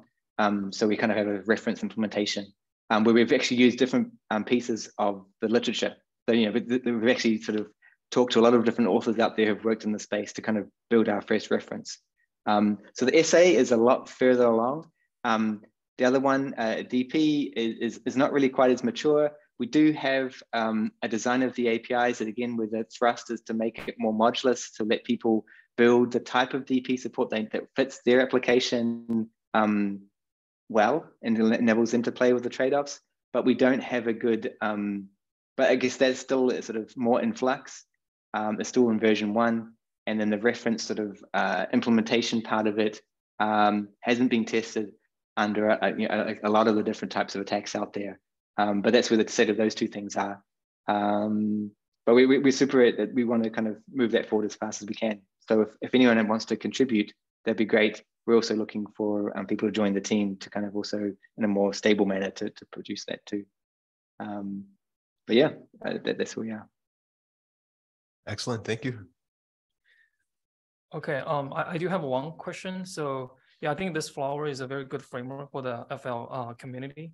So since we are, you know, I think here the vision conference, a lot of, you know, people are interested in benchmark in terms of vision data sets. So for mm -hmm. this flower framework, um, are there any, you know, already, you know, benchmarks has already been built so we can just quickly run it or maybe directly take the result like ImageNet or some other CIFAR 10, 100, some other data set and with different uh, FL uh, approaches? Yeah, I think there is. Um, it's uh, let's see. I, have definitely seen examples, uh, probably in the repo, that have um, ImageNet, CIFAR 100, CIFAR 10. They're all there. Um, but I think the uh, in terms of richness of different FL approaches, it's a bit lacking. Um, so I think there's probably three or four um, uh, aggregation strategies available. Um, but but, one, but I mean, what I would say is that one of the thrusts of this um, reproducibility challenge, this uh, we're calling it summer of reproducibility, is to kind of build it up much more quickly. And so um, I think if anyone here is interested in contributing, they should um, in particular get hold of um, Javier. He's the guy in the middle here, or you know, or myself. I can reject, re, um, redirect you to him. Uh, we're happy to take comments and questions. We'll be producing in uh, probably by before July the 1st, a complete documentation of um, the competition so people can participate if they wanted to. And um, I think it'd be a great way to um, kind of a, a, a share with the community a, solutions and maybe implementations that people already have and just normalizing the access to these things. Because one thing we found was that although you might have like a, a, a lot of different open source implementations, because of the idiosyncrasies of each one, they kind of demanded a lot from the authors. And so one of the kind of like core foundational aspects of this would be uh, the need to organize um, the code and the APIs in such a way that someone could just treat it like a black box. We think we think that's the key.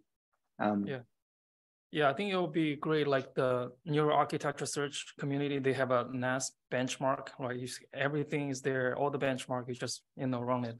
So I think uh, some of my students struggling is reproduce some of the results from the other authors' papers. So they took a lot of time to tune the hyperparameters, those things.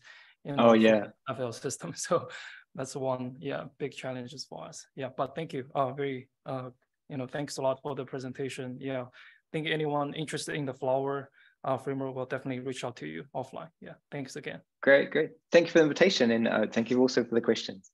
Okay, all right, thank you. All right.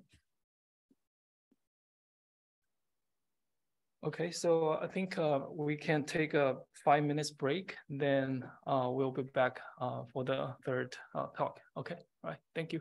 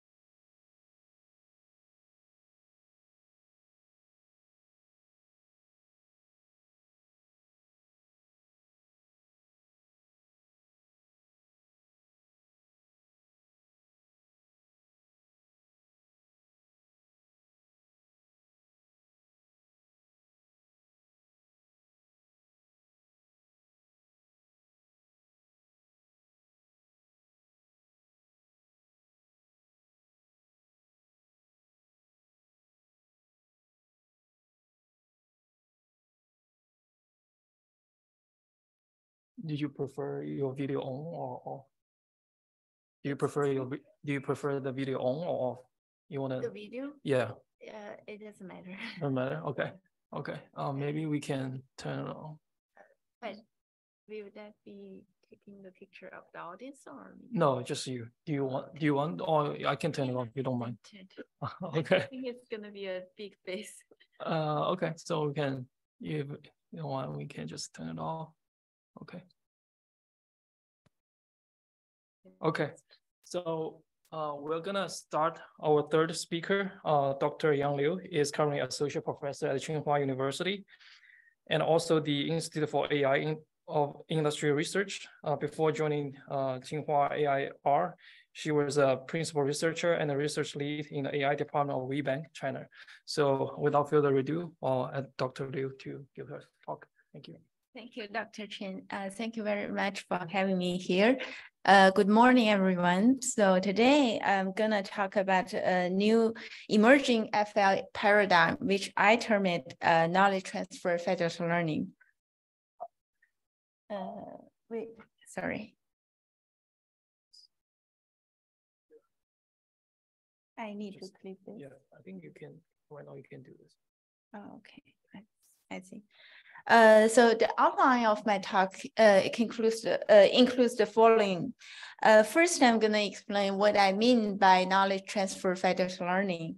And then I'm going to talk about uh, two popular knowledge knowledge transfer federated learning schemes, namely KD-based federated learning and vertical federated learning, and introduce some of the research highlights in addressing key challenges in these frameworks. So let me begin by uh, revisiting the various methodologies that we characterize federated learning. Uh, for example, depending on the type of participant, uh, federated learning can be characterized into uh, cross-device and cross-silos federated learning. While the concept of federated learning is first proposed by Google to allow millions of devices uh, to communicate model updates rather than raw data to train machine learning in a collaborative manner.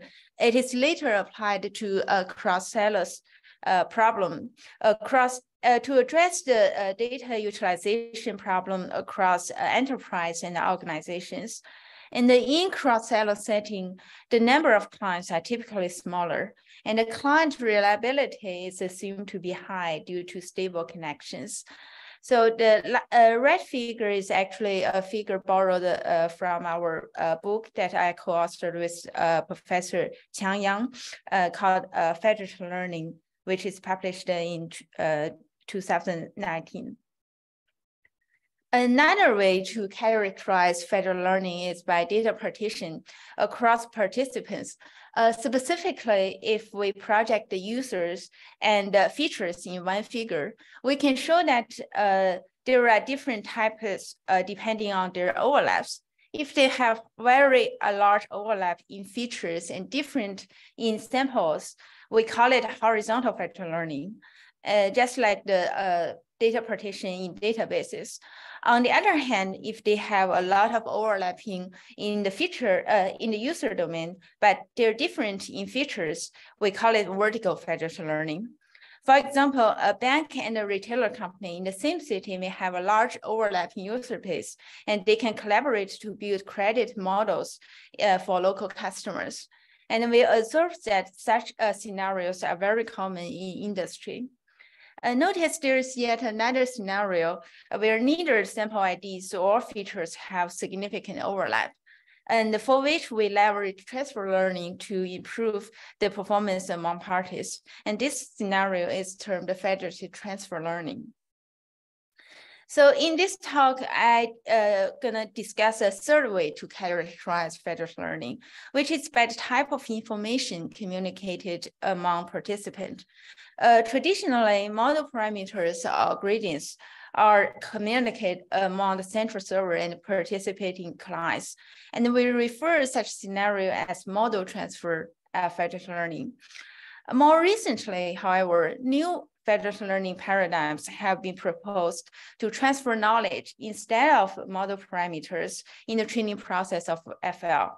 And typical knowledge includes uh, sample logits or representations as commonly adopted in the concept of knowledge distillation.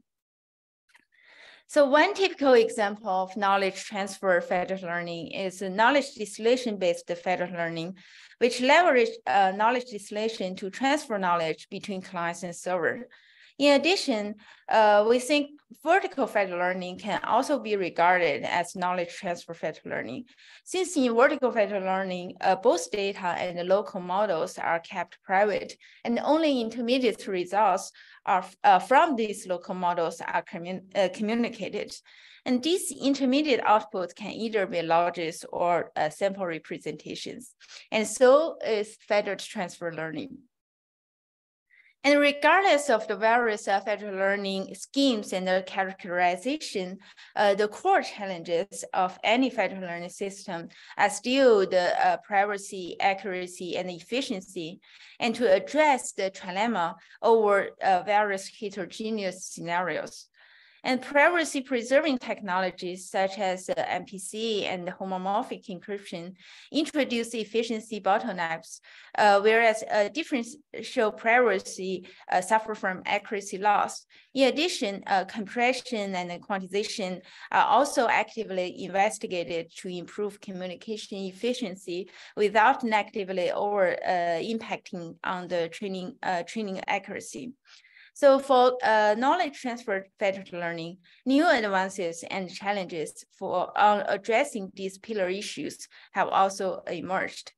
So in the following, uh, I'm gonna discuss addressing these challenges for two federated learning schemes, the KD-based federated learning and vertical federated learning, and starting uh, with KD-based federated learning. So uh, the development of KD-based federated learn learning schemes stem from uh, several open challenges that we encounter with model transferred federated learning.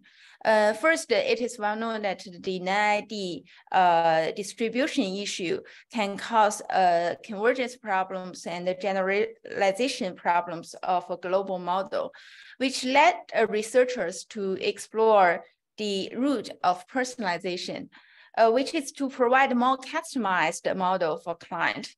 And secondly, because uh, FL plays computation burden on client devices, its capability is largely limited by the client resources, on which training large model is often impossible. So we asked the question uh, if there's a way to break through such model capacity in a heterogeneous environment. And one feasible uh, approach is uh, to address these challenges is through knowledge distillation. In a, a typical knowledge uh, distillation-based uh, FL approach, so clients and the server transfer knowledge through output uh, output of a public uh, data set rather than private knowledge, uh, private models. So the private models actually kept local, and the output knowledge of client models are aggregated to uh, on the server to train a server model, which then transfers knowledge back to client. But these uh, scenarios still suffer from uh, many issues. One of them is uh, uh the improvement of uh, knowledge uh, distillation-based federated learning our model model performance is quite limited. This is because the heterogeneous knowledge and the central server capacity of the central server model is limited. So to further improve the model uh, performance of the KD-based FL, uh, we first proposed to uh, place a larger server model. So let's put a large server model on the original KD-based FL approach. And by doing so, we try to address the question if we can accumulate knowledge at the server by learning uh, effectively from the fused class knowledge. In other words, uh, will a large server model be mutually beneficial to both the server and client? And we achieve this by adding selective knowledge module uh, using label data. On the right-hand side, we showcase uh, the performance of both the server and client models improves as the server uh, model become larger and deeper. And this phenomenon verified that placing a larger, deeper server model helps boosting the performance of both uh, server and clients. But this is uh, based on using a large, uh, a large variety of labeled public data.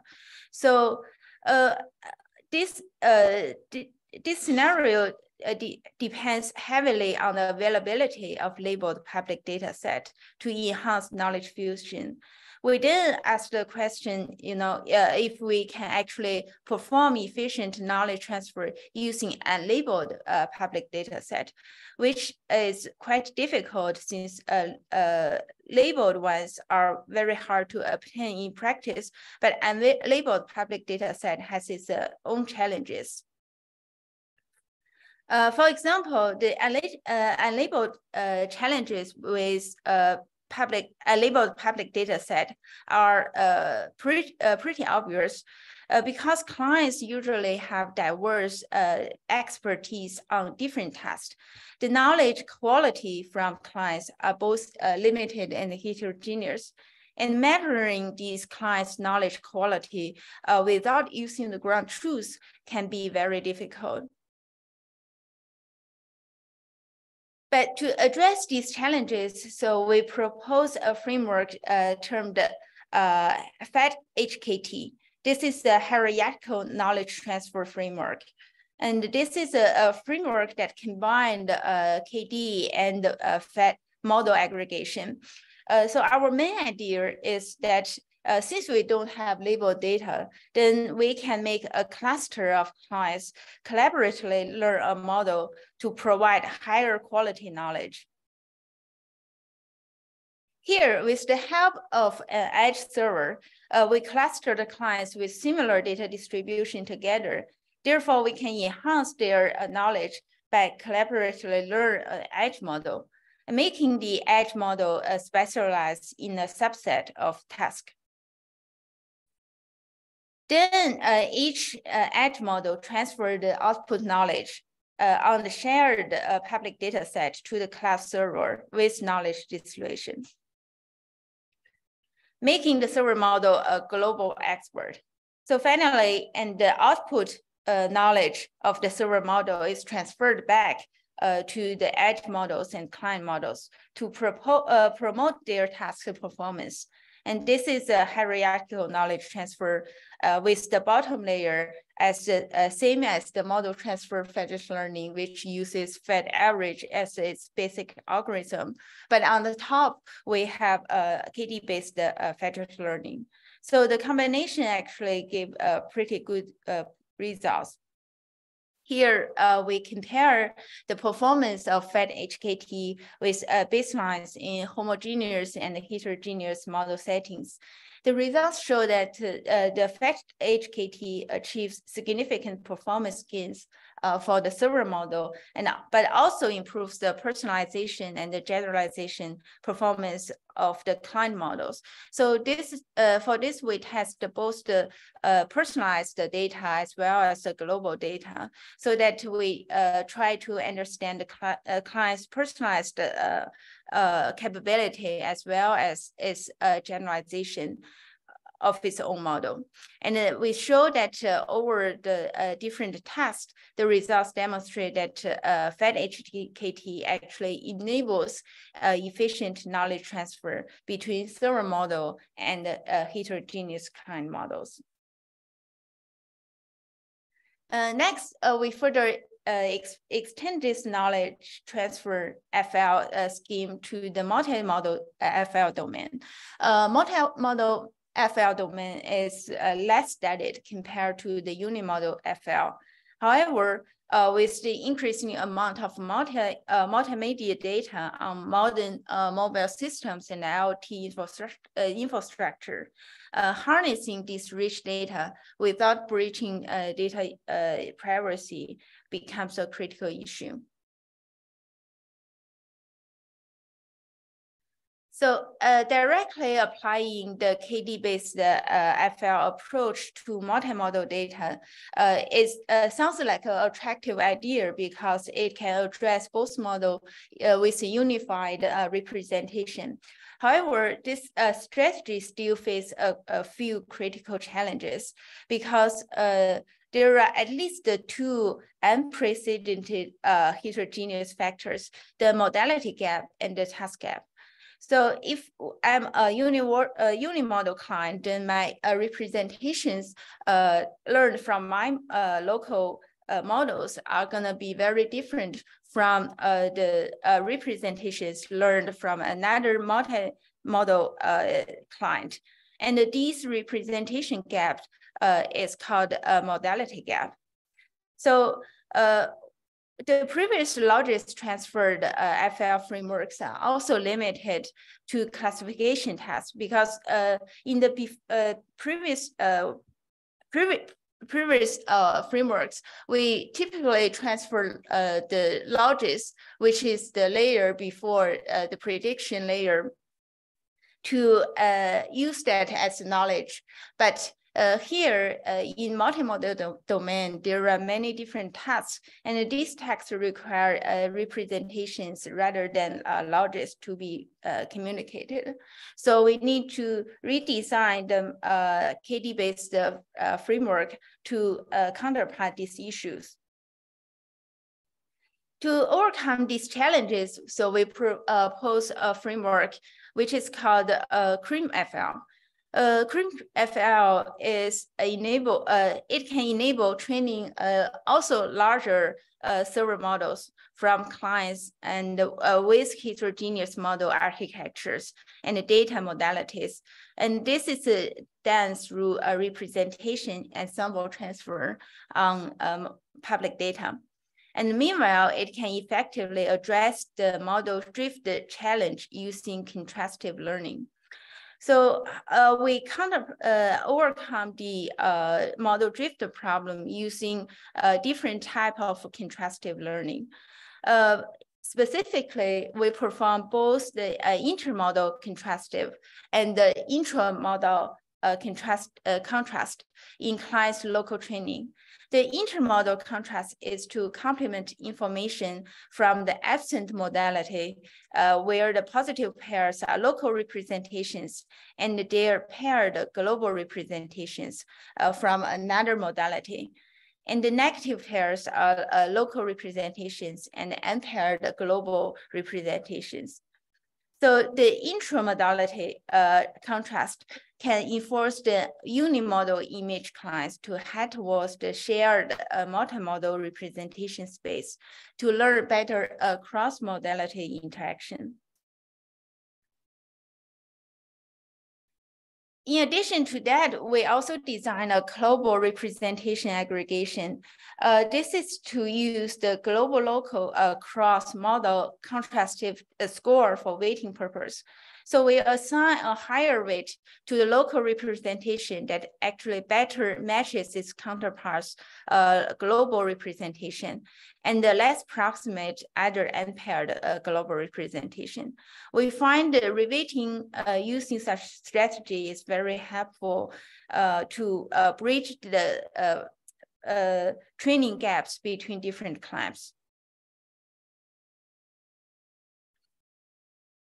So uh, we perform evaluations of our uh, framework on uh, image text retrieval and VQA tasks and compared with the existing method, including uh, both the model transfer FL uh, uh, frameworks, such as federated, Fed average and Fed IoT. Fed IoT is another multimodal federated learning approach where they use Fed aggregate, Fed average to aggregate model parameters by modality, then they assign a different uh, weight to uh, multimodal uh, clients. And we also compare the other uh, knowledge transfer federated learning frameworks, uh, including uh, FedMD, uh, FedGEMS, and showcase that the, uh, the CREAM-FL achieves noticeably performance improvement over all baseline in all settings. So here we show that uh, we perform this, uh, the application uh, ablation studies on the three different contrastive module of our approach. And we show that uh, the performance continuously improve as we include each of the modules. Here, uh, the RAMFL is actually the CREAM-FL with, without C, meaning that we we do not use any contrastive learning in this uh, uh, re representation learnings. So the uh, the federated learning scheme is actually just a vanilla representation ensemble using a KD-based FL. And on the right-hand side, uh, we compare the communication cost of our approach as opposed to model transfer federated learning approach. So since our uh, framework communicates sample level representations, we can observe that uh, the communication cost uh, grows as the number of public data or the dimension of representation. Each data point is the final model performance under the specific setting. And generally, we see that uh, Fed average and Fed IoT exhibit uh, inferior performance to CREAM-FL with higher communication cost at the same level of performance.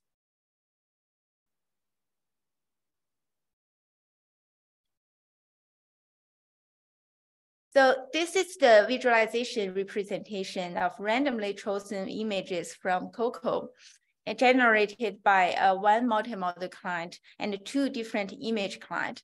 The left figure is a benchmark uh, case without contrastive learning, where the aggregation is simple average. Uh, we observe that the model drift uh, ex exists between the two image clients and the model drift between the unimodal clients is much smaller, uh, is much smaller compared to the gap between the multimodal and the unimodal client. A red figure shows the CREAM-FL actually can pull the representations generated by different clients closer and effectively mitigate such drift. Okay, so before concluding this, uh, the KD-based the federated learning section, I would like also like to discuss a little bit on the privacy issue of uh, KD-FL frameworks. So we know that uh, model transfer federated learning are uh, vulnerable uh, to some extent to deep uh, deep leakage attacks. And uh, I think the audience of this group may be very familiar with that already.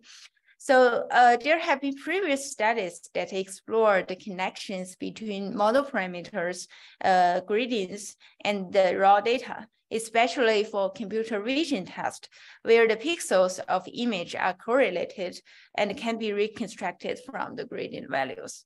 So one advantages of KD-based uh, federated learning uh, paradigm is that it does not transfer any model parameter. So it can eliminate the deep uh, leakage attacks. But uh, over the years, we have seen that such deep leakage attacks proposed are getting stronger and stronger. So we asked the question then, uh, will there be a deep leakage from the logits in the FedMD-like schemes? Uh, it's gonna be very challenging, but uh, we identified a certain uh, route that can make uh, achieve this. So we identified at least the two necessary principles to attack uh, such FedMD scenario.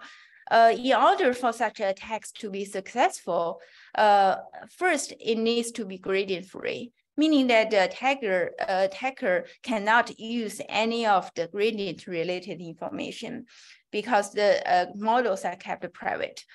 Uh, on the other hand, the attacker also needs to be a knowledge decoupling. By knowledge decoupling, what we mean is that uh, since uh, the KD-based FL transmit uh, the output or logits uh, from the public data set, if we apply a direct inversion to that, it will mostly give us the public data set rather than the private data set. So we need to design an attack that uh, only takes in the uh, public data set log logits, but return to us the private data. This is very challenging. And these principles make the attack uh, very hard, but none of the existing method actually can achieve uh, both principles. So we take on this challenge And we uh, try to propose a new attack framework with uh, multiple steps. So first, uh, we train an inversion neural network model on public data and their logits, uh, just like the regular inversion model, except that uh, the input to the model is not only the predict logits from the client side model, but also the uh, output logits from the server side model. Uh, remember, we have a server-side model also uh, play in place in the KD-based uh, federated learning uh, paradigm.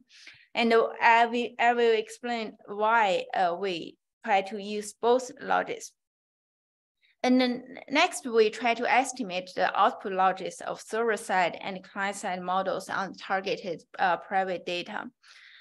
So if we can estimate the output logits of the server side and client side models. Then we can feed this estimate logits to the inversion neural network model uh, to generate original private data. And finally, uh, to refine the estimation, we can also uh, use prior estimated from the uh, public data set for regularization of our optimization. This is try to improve the uh, final image uh, reconstruction quality.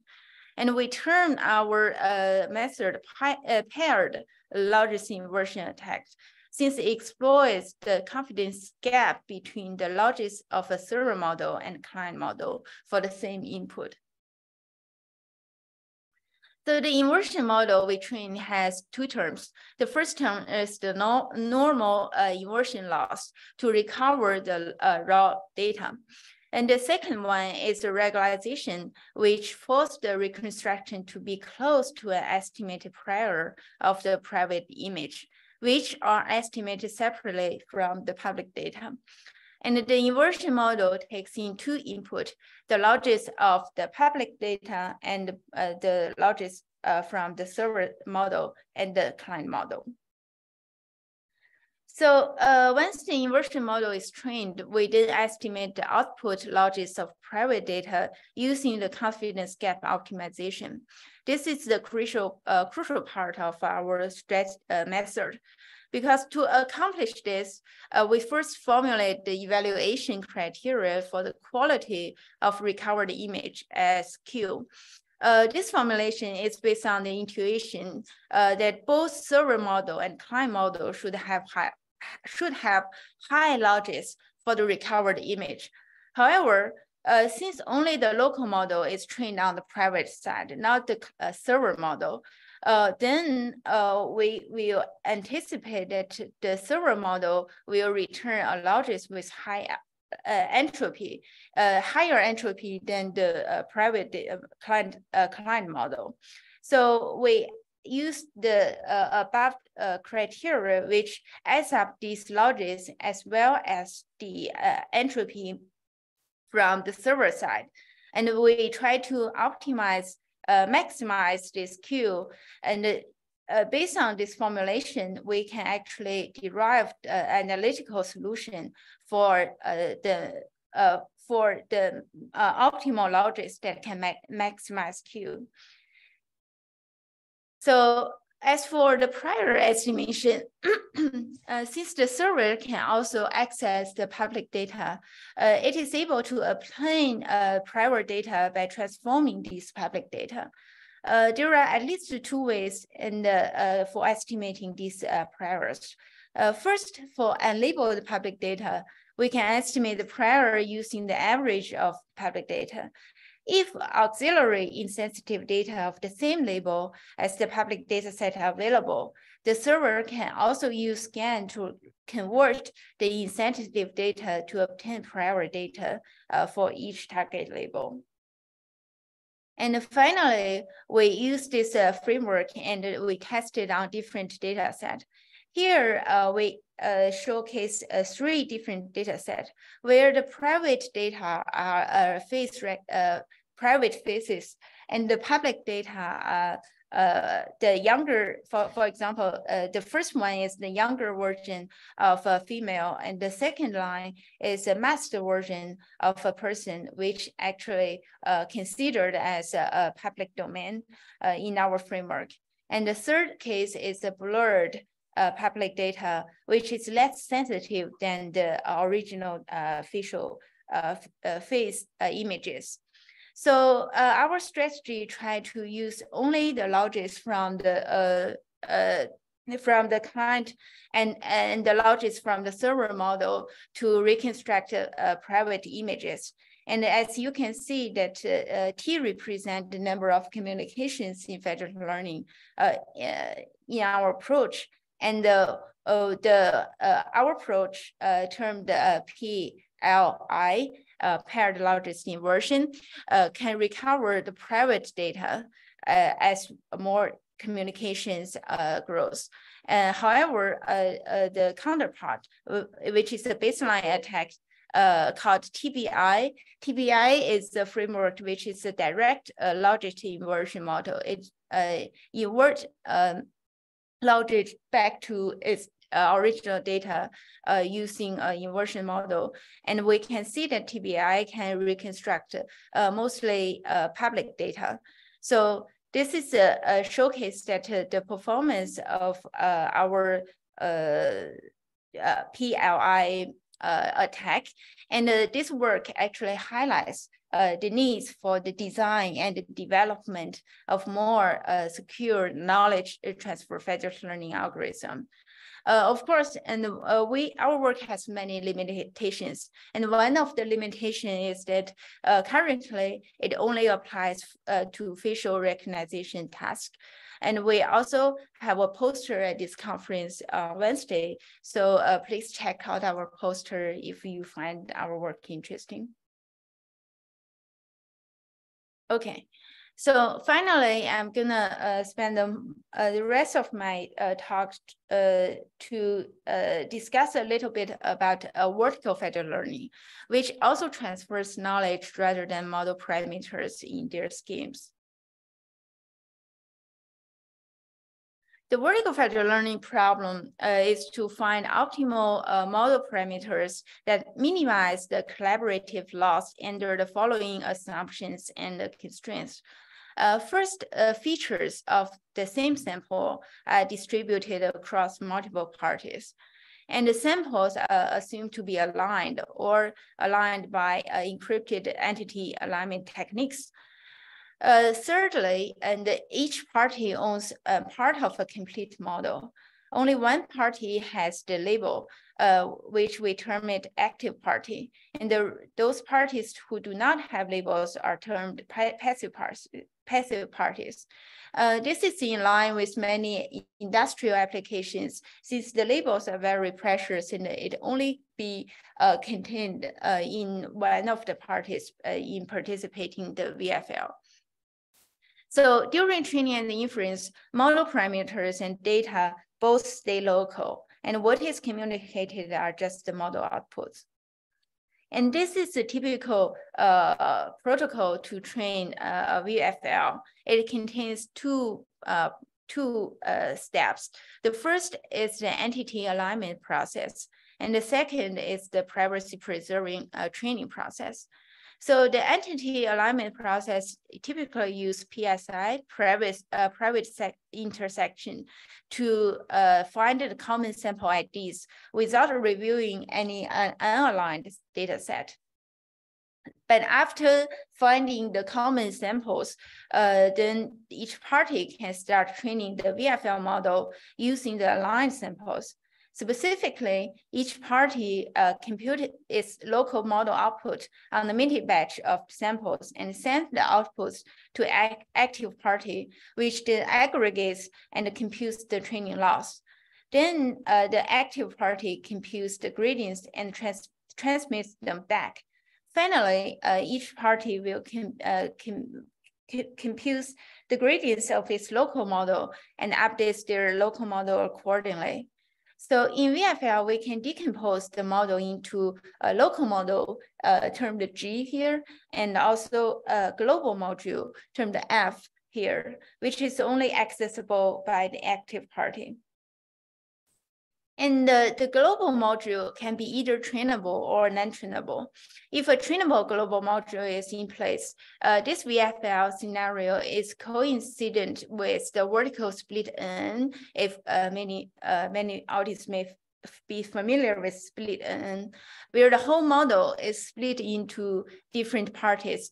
That's we term it a split VFL. If the global module is non-trainable, it serves as an aggregation function uh, that aggregates aggregates parties uh, intermediate results, similar as uh, fed averaging. Then we term this scenario aggregate VFL. Another variant of VFL is that when the active party has no features and thus it provides no local model. In this variant, the active party plays the role of a central, uh, central server. So in VFL, the naive framework requires communication between clients at each iteration, as I just described. Uh, with encryption, this becomes a bottleneck uh, for e efficiency. And here we borrow the idea from Fed averaging, where multiple local updates can be performed uh, before each communication. We then asked if such multiple updates can also be performed in VFL. Uh, we leverage block coordinate gradient descent to achieve this goal. So for each local iteration, each party locally computes gradient based on its own data and steal the intermediate comp components from other parties in the most recent synchronization. And for each communication, instead of performing one round of uh, local updates, we perform Q round of uh, local updates to save communication rounds. And we term this approach FED BCD. So we theoretically provide convergence guarantees for this algorithm and exponentially, uh, experimentally show that the compare with vanilla uh, Fed SGD, Fed BCD can save communication rounds by up to 70%. Uh, other than that, we discussed also the uh, data protection protocols of VFL. So the VFL actually needs to deal with both transmitted intermediate results and internal intermediate results. Transmitted interme intermediate results is the uh, those information that actually uh, communicated among parties. Internal intermediate results uh, uh, refer to information such as the internal local gradients.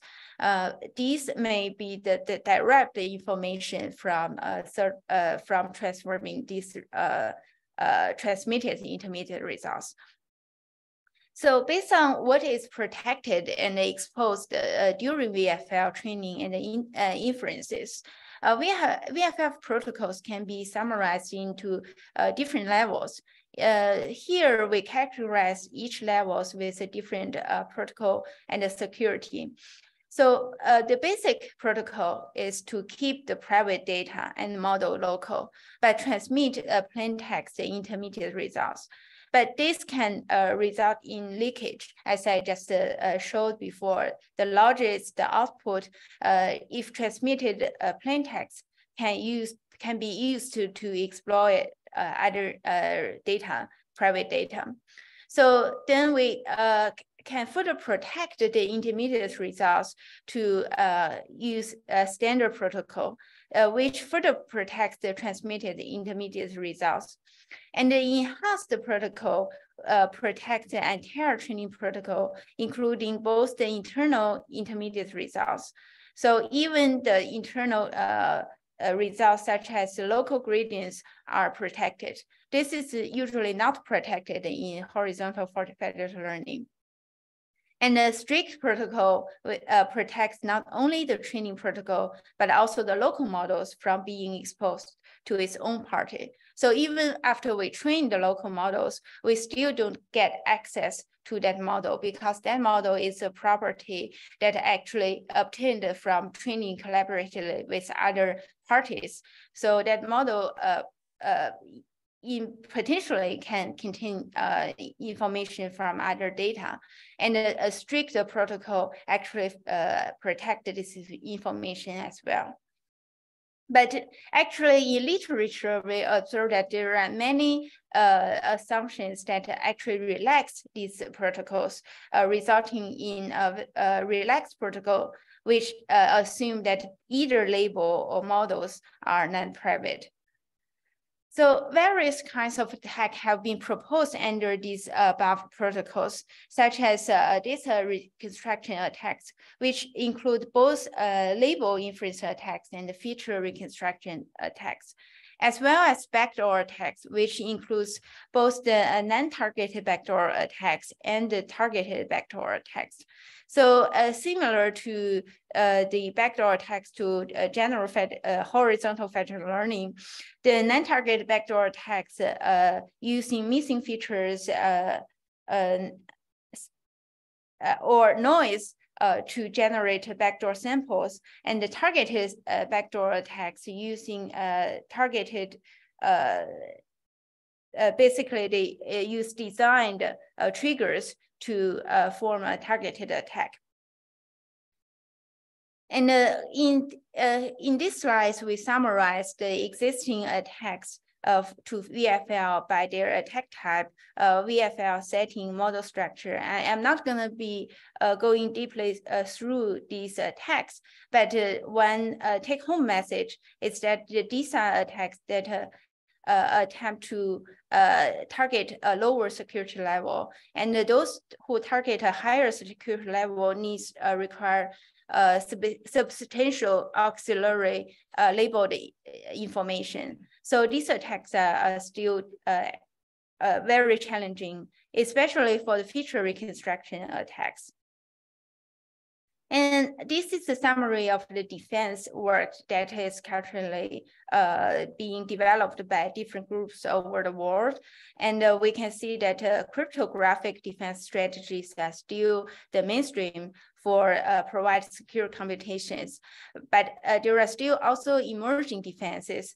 Uh, these emerging defenses uh, explore different uh, strategies such as uh, mutual information regularization and adding specific noise so that they can target at a specific attack, attack categories to maintain a good utility. And the, the need for uh, VFL has uh, grown strongly in the industry in recent years. And we show that, you know, there are many companies and institutions uh, owning small and frag uh, fragmented data, constantly looking for uh, compensating data partners to collaborate uh, with AI technology for maximizing their data utilization. So we showcase there is a list of open source projects such as VBank's uh, uh, and uh, PyVertical, FedLearner, uh, FedTree, these are all targeted at VFL scenarios. And the majority of applications are still concentrated in advertising and finance. But uh, there, there are still um, uh, major challenges in the advancement of VFL research, and we listed at least two here. So first, uh, there is a substantial gap between the defense goal of uh, VFL research and practice. So we showcase that there are many uh, VFL uh, defense works, uh, outstanding works uh, in the literature, but these objectives of research works mostly focus on achieving a state-of-the-art performance on a targeted attack type, resulting in a fragmented evaluations on separated tasks. But in reality, the practical development of VFL systems calls for a universally effective yet simple defense solutions to throughout all possible attacks. So there is a notably uh, absent of a compress, uh, compressive comprehensive and fair evaluations that can uh, uh, encompass multiple attack and defense method under a, a, wide variety of VFL settings. And secondly, there is a lack uh, of lightweighted unified VFL framework designed for rapid testing uh, new attack and defense algorithms. So to this end, we want to uh, propose our uh, code base of VFLAIR uh, which is currently still under development, but it includes a general pipeline to mimic the standardized uh, VFL training and inference uh, flow, including uh, data model partition, uh, communication strategies, as well as extensive attack and defense modules, which support a newly published attacks and defense method. So currently it supports uh, eight existing defense strategies, uh, 11 attacks, uh, nine models, uh, two partition settings and two communication protocols and 10 data set. Um, it is still under development. An unique feature of VFLAIR uh, is its effort to bridge the gap between the defense goal of VFL research and practice. Uh, specifically, we benchmark existing defense strategies on their performance depth and breadth, where depth refers to their individual defense capability on each targeted task, and breadth refers to their comprehensive defense capability for all types of attacks. And to benchmark this uh, defense, we take both the model utility of the main task and the attack uh, performance into our evaluation to develop a defense capability score, which depends on the weighted Euclidean, uh, Euclidean uh, distance to an ideal defense performance.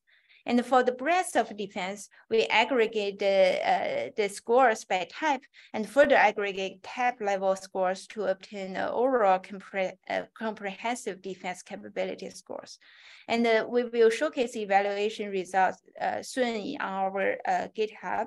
And uh, if you are interested, please also check out the GitHub re repository for more uh, details for now. This is the work uh, done in our group group by uh, some of my, uh, my graduate students and intern students.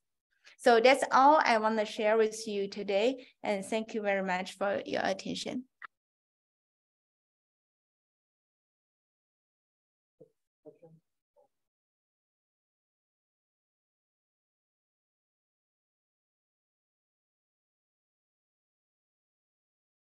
Yeah, so I wanted to ask about the uh, last slide that you had uh, with this uh, score. So it's dependent on a specific attack. Um, so I'm, I'm a big fan of trying to uh, have, let's say, privacy by design uh, or provable privacy by design rather than um, measure empirical privacy for a given form of attack, which may not be the most powerful one that's possible. Right. Um, so, I mean, how do you plan on uh, do, do, you plan on having a specific family of attacks and you just kind of take the worst one? Or how is this score like well defined or will, will it be evolving over time? Uh, yes yeah. yes yes. And, and that's an excellent uh, question. So currently we are uh, in an effort to develop the scores which uh, comprehensively include all the um, heuristic uh, you know in practice the most uh, worst attacks. For example, for uh, label inference attacks, this includes, you know, um, many of the list above. And uh, these are currently uh, mostly uh, designed to do uh, experimental evaluations. And uh, so for some of them, so I think it, it is very uh, challenging to actually achieve, uh, you know, a theoretical proof for many of the attacks due to its exper experimental uh, experiment uh, experimental uh, nature. And uh, but i think this is provides at least the to the practical deployment the practitioners of vfl what is the most effective in practice. And that's the goal of this part of work. Okay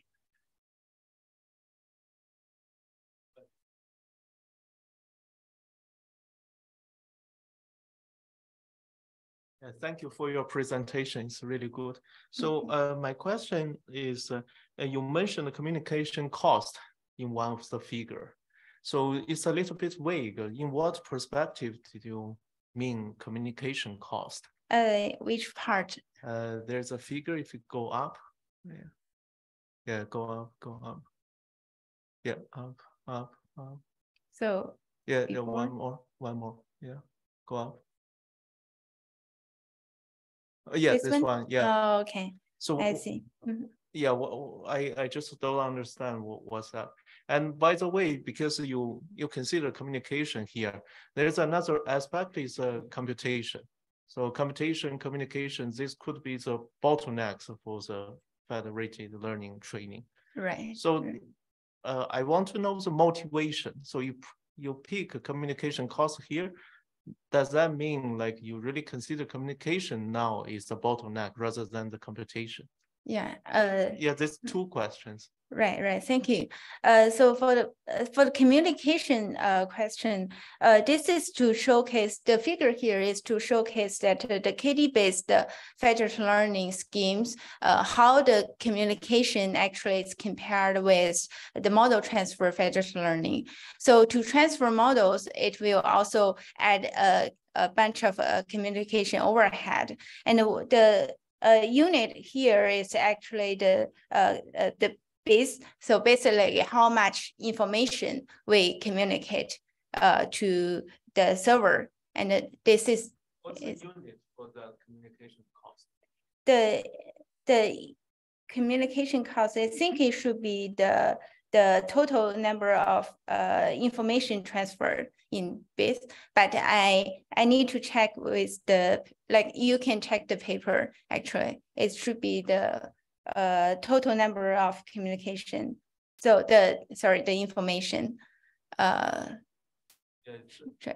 I mean, I mean, at least it needs to have a unit. So it's a bytes or megabytes or something. Right. It should be, that's what I said. Uh, that should be uh, bits, but uh, we we, uh, I think there should be bits. Yeah. So uh, in the, uh, it should be in the, in the paper as well. So we, uh, we will actually uh, double check it and get back to you. It should be bad it's this is just to showcase the how much how much information is uh, communicated uh, because for example the model uh, the larger the model gets the communication also gets higher. And this uh, point is just to showcase to achieve the same amount of uh, model performance uh, how much is uh, communicated uh, as compared to the uh, Fed average fidelity and the uh, the CREMA Yeah. Sorry, I, I, you you your other question is about the computation. Yeah, which one is uh, this this work mainly uh, uh, address the commu uh, communication problem here. And uh, for communication, I think uh, because uh, here we are comparing, you know, multimodal uh, federated learning on different scales. It, the multimodal com computation, I think there should be Right. So so I, I sorry. So for for, for uh for this part for this work we didn't actually uh, address the uh, communication problem and I cannot uh, actually give you a conclusion on that. Yeah.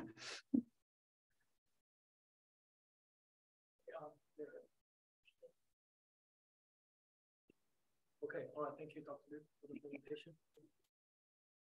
Okay.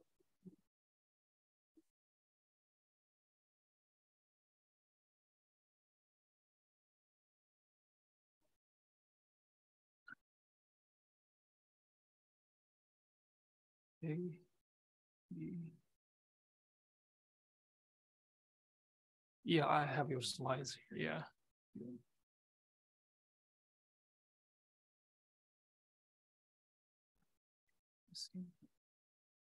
Okay, um, so our, okay, I didn't share the screen.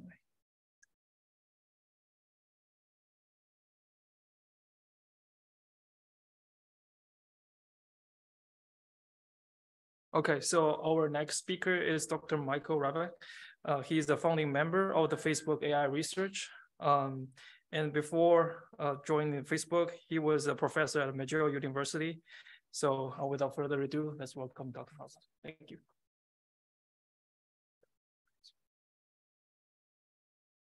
Yeah, thank you very much. Thanks everybody for being here and thanks also for the invitation to present today. Um, so I'm going to take a slightly different approach today. And rather than giving an overview of lots of different material, I'm probably going to focus for most of the talk on one specific paper called Where to Begin, uh, which talks about the importance of how we initialize when we're doing federated training and thinking about you know, how we can leverage pre-trained models uh, rather than random initializations and what are some of the, the consequences of doing this. Um, and towards the end of the talk, if there's time, I will also talk a bit about self-supervised pre-training, not directly tied to federated learning, but why I think it's important and maybe a useful alternative um, to other types of pre-training. So this is joint work for most of what I'll be speaking about today, joint work with my colleagues John Nguyen, uh, Jianyu Wang, Kshitiz Malik, and Maziar Sanjabi, uh, all of whom were also at Meta at the time when this work was done. So There we go. That's good. Okay, thank you. So to get us started uh, and just to situate the discussion for the presentation today, let's just recall the federated opt or FedOpt, uh, federated optimization framework of Reddi et al. from a couple of years ago. Um, the focus of my talk today is going to be really on cross-device federated learning. And so in that setting, we have some clients, which are shown on the left, uh, devices, in this case, maybe mobile phones. And there's the server in the cloud, um, conceptually one server, but often, you know, this would be much more involved. Uh, but that's going to be coordinating the, the training. And to start things out, the server has some initial global model that's going to be used to begin the training. Um, the typical steps in this framework go roughly as follows, right? So the clients are going to indicate when they're ready to train, when they're ready to participate. Um, the server is going to perhaps use some client selection protocol to select a subset of the clients who will participate in the current round. It's going to send them the latest model, maybe also some additional meta information that could be useful uh, for training. Then the clients are going to perform some local updates. Those could be a fixed number of local steps, or more commonly in practice, we might tell each client to perform a local number of up, uh, epochs over the data that they have available. Um, and they're going to do that using some optimization routine, which generically would be called client opt. Um, there could be many choices for how that might work. As depicted in the bottom left here, you can see we have some initial model that we received from the server. We take a bunch of local steps. Uh, we look at the difference between where we ended up and where we began in that round, and that forms our model update. Once we're done training and once all of the clients are done training, and typically in order to preserve privacy, those will be aggregated using some secure aggregation protocol so that what the server receives uh, at the end is some a weighted sum of these model differences from each client. Perhaps weighted um, could be different, you know, model aggregation schemes that one might use. But for example, it could be based on the amount of data that the client has or the number number of local steps that it took. Then the server is going to finally uh, perform some update to the global model that it's maintaining uh, using another method that's called server opt that gives us the new uh, global model at the server and we begin the next round. Okay, so hopefully this is familiar to everybody, but this was just to get us all on the same page. Now, over the past couple of years since you know this concept of federated learning was coined, I guess back in 2016 or 2017, there's been plenty of research on lots of aspects in this figure, and in particular, um, you know, basically steps one through five have have been studied very carefully from various different client selection schemes, various ways of performing local updates on devices, um, perhaps incorporating additional information from the server in order to reduce client drift, different ways of aggregating, different ways of performing updates at the server as well. Um, incorporating things like quantization or other forms of compression to reduce the communication overhead between the server and the client, and so on and so forth. And in this work, we actually kind of wanted to look at a different part, which we felt hadn't received as much attention, which was this initial step zero. How do we initialize the beginning of training? We know in general in optimization, how you initialize can make a big difference. Um, and so we wanted to see what were some of the consequences of how we initialized in the context of federated learning. Now, there's also several challenges that come up in federated learning. We've already heard from several of the other speakers uh, this morning, and I guess for this crowd, it might be also very familiar. One of the main challenges comes about due to various forms of heterogeneity. So there's data heterogeneity where the distribution of data at different clients might not be the same. Um, when this is the case, you know, we when clients are taking local updates, this can be a source of drift. The models at different clients drift apart, and this essentially slows down our training. This is a well-known phenomenon. Of course, if we were doing this training in a centralized manner in a data center, all the data would be in one place. We could shuffle or permute the data, and that essentially renders this uh, heterogeneity problem, you know, no longer a problem. But in the context of federated learning, due to privacy reasons, we cannot do that permutation or shuffling, and so we have to deal with this. The other form of heterogeneity comes about due to system heterogeneity. Different clients are different physical devices with different capabilities, maybe different amounts of memory, different compute. Uh, and of course, tied into this also is this idea of data imbalance. Different clients hold different amounts of data, right? Typically, if we're thinking about uh, this data being generated in the context of some feature or an application on device, some users might use it much more than others, and so they're going to have more data.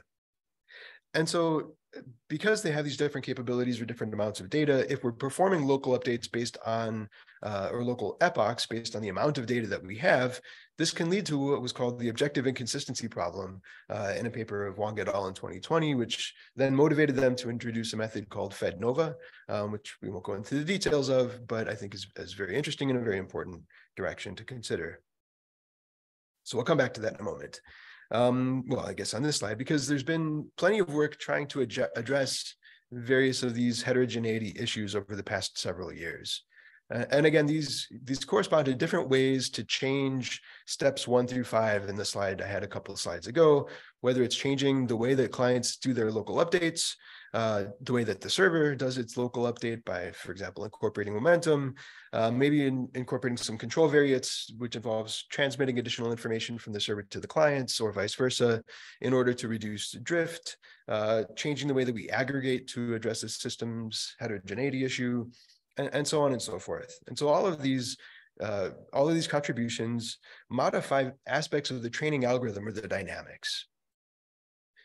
So as I mentioned at the outset, the, the, the question that we wanted to consider for the study I'm talking about today is how does the initialization impact federated training?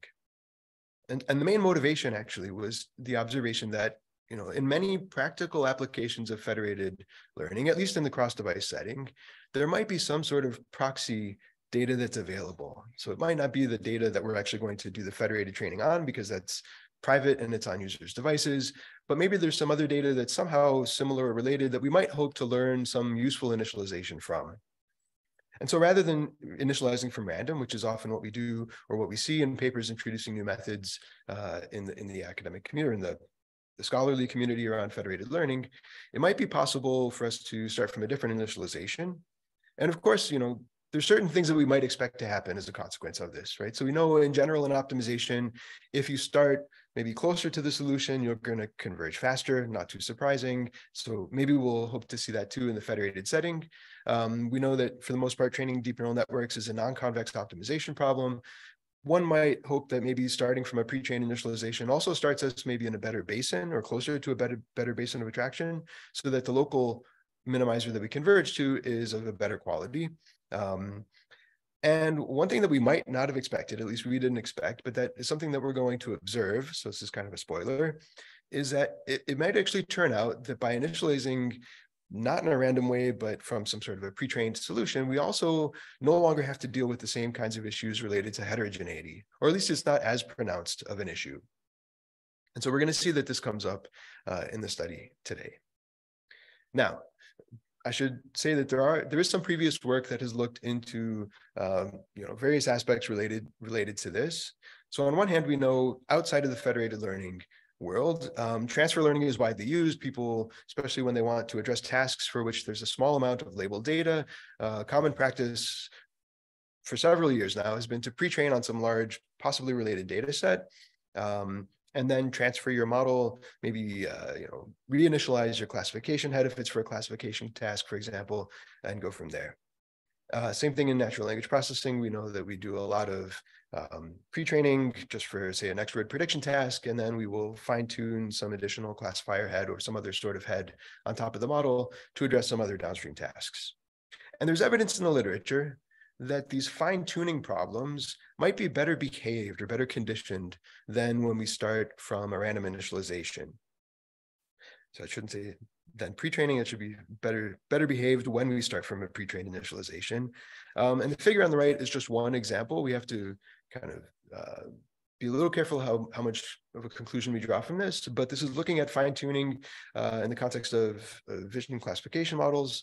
And um, the observation here was that if you project down to two random dimensions, the, the contours around the area that you are fine tuning look pretty well behaved, fairly convex. Um, and this might be different than if you were to look at the overall problem that you're solving when you start from a random initialization. So this is outside of the world of federated learning, but maybe still gives us some inspiration or some hope. Uh, and in the context of federated training, there has also been some work that looked at starting from pre-trained initializations. There, the main motivation cited in these works and the main uh, focus of those works was to understand, can we bridge this gap between a centralized accuracy and the federated accuracy that we get? So it's well known that when we do federated training, um, by doing this on device with local updates, often the quality of the model, the resulting model that we train is not quite the same as if we had all the data available centrally and could train in the data center. Um, and often that's pegged due to being due to heterogeneity. Uh, and these works did show indeed that if you um, if you start from a pre-trained solution, that helps to bridge some of this gap. All right, so, so what are we going to look at in the study that I'm talking about today, or what did we look at? So, so we looked at experiments across um, a couple of different tasks, two involving image classification, others involving next word prediction for uh, language modeling. We looked at a couple of different models, and we're going to look at contrasting and comparing what happens when you start with a pre-trained initialization versus when you start from the typical random initialization that one would use for training these models. And in order to keep the setup simple and for it to hopefully be reproducible by others in the community, for our pre-trained initializations, we tried to use model checkpoints that were already out there in the public. And so for the image models, um, we're using SqueezeNet and ResNet 18, so relatively small models, um, which might be appropriate for federated training on device. The pre-trained initializations that we're going to use for those are for models that were pre-trained on ImageNet, and those are directly available in the Torch Vision library. Uh, and in the natural language case, we're using uh, also smallish language models, DistilGPT2 and a character-based language model, which I think is primarily LSTMs. Um, and you can see those are trained, pre-trained either on Open Web Text or on Wikitext 103. Okay. Now, the approach that we're going to focus on in this paper is to start um, either use random initializations, as I, as I mentioned, or to start with these models that have been pre-trained in the sort of standard supervised way. That's only one approach. There's definitely others that we could take, but for this initial study, we just wanted to start with something that seemed simple and, and ready to go. And when we transfer it to the federated learning task, we're going to keep all of the pre-trained features, everything except for the penult penultimate layer, um, to the values that they're at after this pre-training, and we'll randomly initialize the classification head We'll do this because often, uh, for the most part, the tasks that we're looking at in the federated setting don't have the same number of classes or the same size vocabulary as they did in the pre-training task. Okay. We're also going to consider a variety of different federated optimization strategies that fit into that FedOpt framework. So we have six different, or sorry, five different options for the client optimizer, uh, standard stochastic gradient descent updates, which would be like local SGD or Fed average, um, proximal updates, so like FedProx, where the idea is to not drift too far away from the model that the server sent, normalized averaging, which is going to weight based on the number of updates being taken um, locally on that device. MIME-Lite, which is uh, introducing control variates in order also to try to reduce drift. And as a fifth, for some of the experiments, we'll look at what happens if you just use uh, full batch gradient descent. We did this in the paper. I'm not sure if I'm going to, maybe I'll mention it briefly in the, in the, the talk today. And on the server, we're also going to consider three different options. So one is the server also just does stochastic gradient descent updates, treating the aggregated model updates as a gradient in all these cases, that's what's happening. And the second option would be like for Fed average M, where we incorporate momentum at the server. And the third would be where we use Adam at the server, which would be akin to Fed Adam.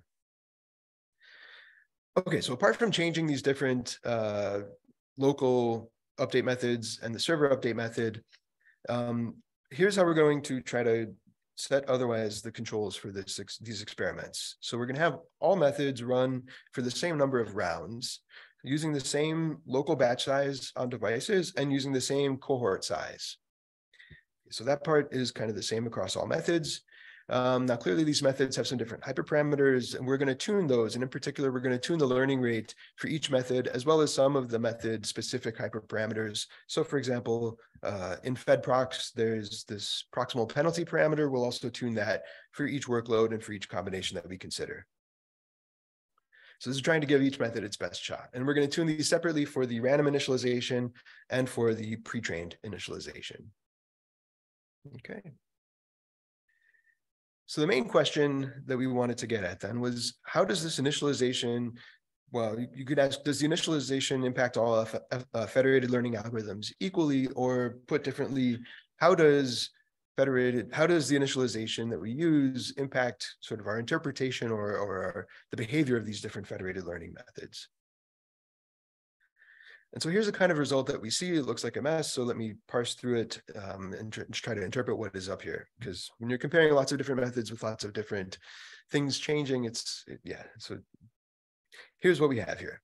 So for this particular figure, you can see that we have nine different specific algorithm instances that are being compared. Uh, three different versions of what's happening at the server, Fed average, Fed Adam, Fed average M, and then three different versions of what's happening locally on device, proximal updates, standard SGD updates, or MIME-Lite updates. We consider two different initializations, pre-trained or random. And so for nine algorithms, two different initializations, we get 18 final accuracies. And so these are the 18 values that intersect all the way on the left and all the way on the right. On the left, it's for the pre-train, where we start from a pre-trained initialization. On the right, it's when we start from a random initialization. Again, this is after the same number of rounds.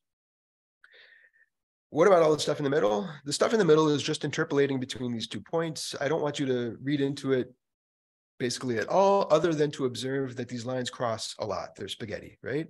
And what does that tell us? That tells us that depending on which initialization we use, this changes the rank order of these algorithms and their performance and, and basically which one we might prefer. Okay, and I'm showing this to you for one of these tasks, but we see similar figures across all of the tasks. And actually, there's one important point that I forgot to mention. Uh, so let me back up here. When I was looking here, one of the things I should have mentioned is, so on the left, we have the um, final accuracies for the pre-trained. On the right, we have for random. And you can see that the range is different also for these two different sides. In particular, when you start from a random initialization, the range of final accuracies that you reach after this number of rounds that we ran the experiments for is quite large relative to the, the size of the range that you have when you start from a pre-trained initialization. So already this tells you something which might not be too surprising, which is that if you start from a pre-trained initialization um, and you tune hyperparameters for each method, then the, the difference in performance amongst these different methods is not going to be as great than if you start from a random initialization. All right, so I was pointing out that we see these same conclusions across multiple different workloads, so different models and different data sets. Um, and so one of the things also which might be expected is that there's no single method that wins out in all cases. Um, this is often the case, but we did get the sense that for the most part, um, if you're going to start from a pre-trained initialization, then using FedAdam is reasonably competitive across these different workloads and is a simple simple setup. So relatively few hyperparameters that need to be tuned. Okay. So what else, what else do we observe? So another question we can ask in this context is what if there wasn't data heterogeneity? Um, so what if, so in this case, that basically means what if we could shuffle the data across users, um, partition it across clients in that way. So we're still going to use local update methods. Um, and I guess this is what we observe now is, so we're looking at two different initializations, pre-trained or random. Uh, red corresponds to this ideal IID setting, right? We can't do this because of privacy, but we can ask the question, what would happen if we could?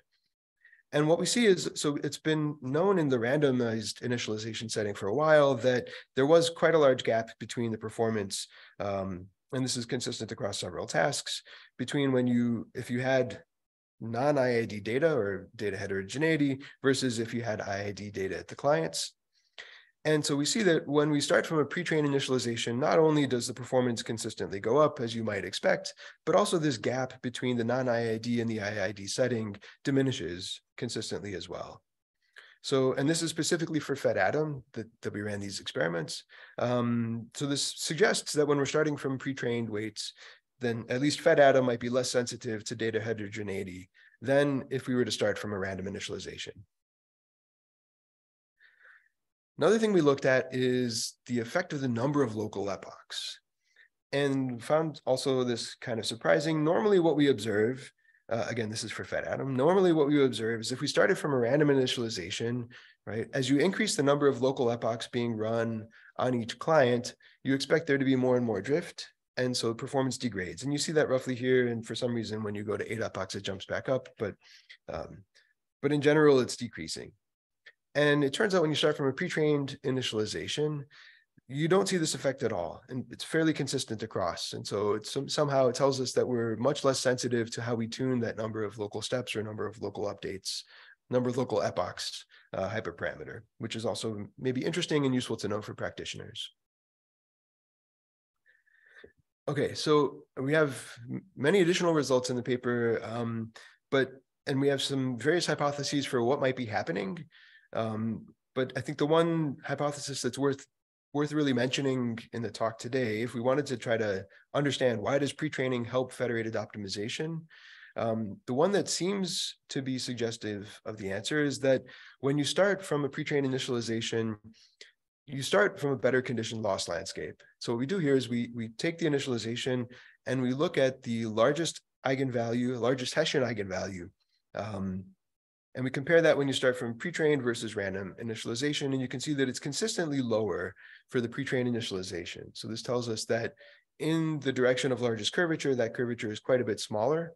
Um, this suggests, you know, that things are more well behaved. I think there's still much additional work that needs to be done to understand this further.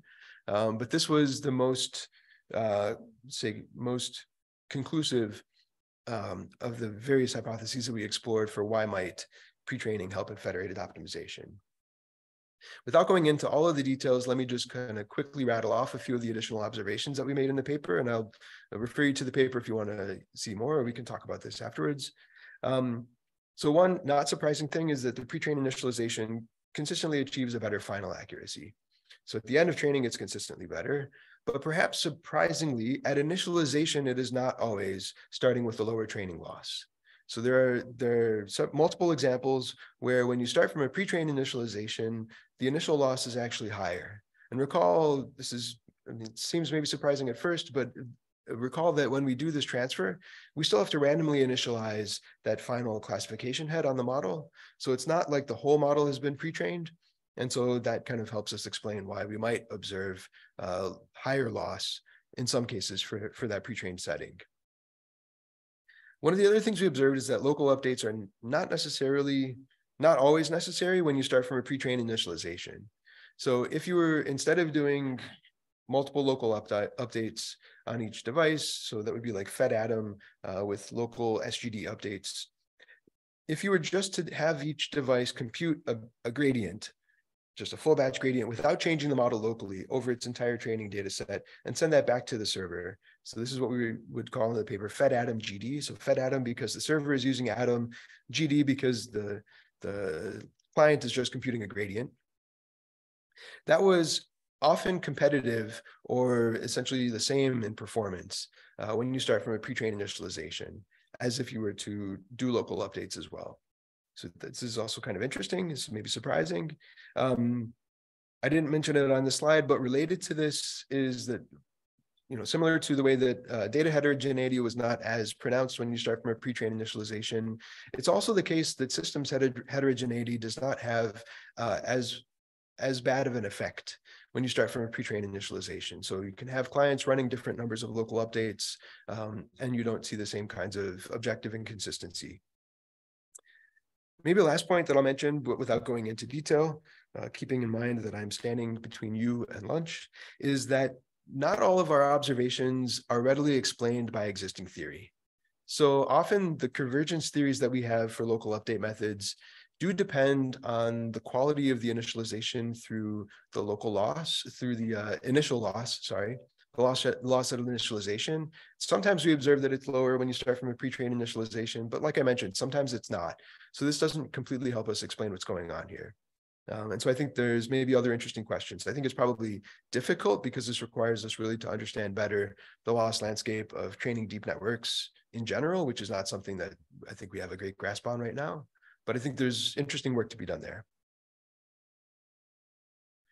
Okay, and so for my remaining time, let me kind of switch gears and um, let me say the following. So this is kind of more of ongoing and future work. So, so all of the experiments that, that I told you about so far, we're starting from a supervised pre-trained setup.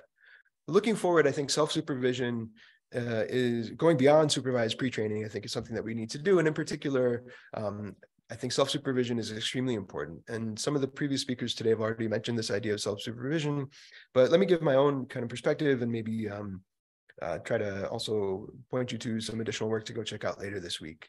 So, so why do I think self-supervision is, is, kind of an interesting way to go? Well, we know um, young humans learn quite a bit about the world just from passive observation, okay, not necessarily from receiving any sort of supervision. Um, and so these are some experiments that are shown on this slide from more of the cognitive science and psychology literature, where there would be kind of a so the the setting goes as follows. So um, there's some new objects that probably nobody has seen before that are given names that are not very common right? And in this experiment or a series of experiments um, the first thing that would happen would be that a toddler and their parent would go into a room and start playing with some of these objects and the parent was instructed to name the object with its creative name only one time during that that episode when they're playing. Then the parent would leave the room and one of the administrators of this study would go in and they would talk to the talk to the toddler um, you know ask them if they had fun and they would ask them oh by the way sorry i can't remember. Could you tell me which one of these is the tema or which one of these is the dodi? And with very high probability the the toddler was able to point to the correct example. Um, and so this tells us that you know there's certain characteristics that we learn without needing a lot of label data but we just learn by passive observation related to things like shape, color, and so on. In the visual setting. Um, but we believe this is a much more general principle. And so um, there's been a lot of excitement around self-supervised learning over the past couple of years, but I would like to kind of talk about one approach that I'm very excited about in particular, which is called the image joint embedding predictive architecture. Um, and this, this approach works as follows. So we're going to have an image uh, and we're going to think of breaking that image into patches. We're going to take a small subset of the patches and call those a context. And we're going to pass those through some encoder. This could be whatever your favorite backbone is. Let's say it's some vision transformer or ResNet to get some embedding of those patches. Um, we're also going to take a target uh, sorry, from the same image, we're going to take a number of targets um, shown by these different colored boxes here, which don't necessarily overlap with the context and we're going to encode those and we're going to ask a predictor given the encoding of uh, the embeddings of the context and information about what is the region to predict to predict what is the embedding or the, the you know, representation of those re regions if it had seen that and we're going to train it in order to make those predictions so we're going to train both the encoder and the predictor simultaneously to do this and it turns out this approach is very effective. I won't go into all the details again in the interest of time. Um, but one nice thing is that this approach does not require any handcrafted data augmentations. We're only using a sort of a, a form of masking here. Um, and one other nice property of these embeddings, which I think makes them useful in general, but also maybe in the context of federated learning, is that they work quite well when you consider downstream tasks where you have a very small amount of labeled data and you would like to transfer very quickly.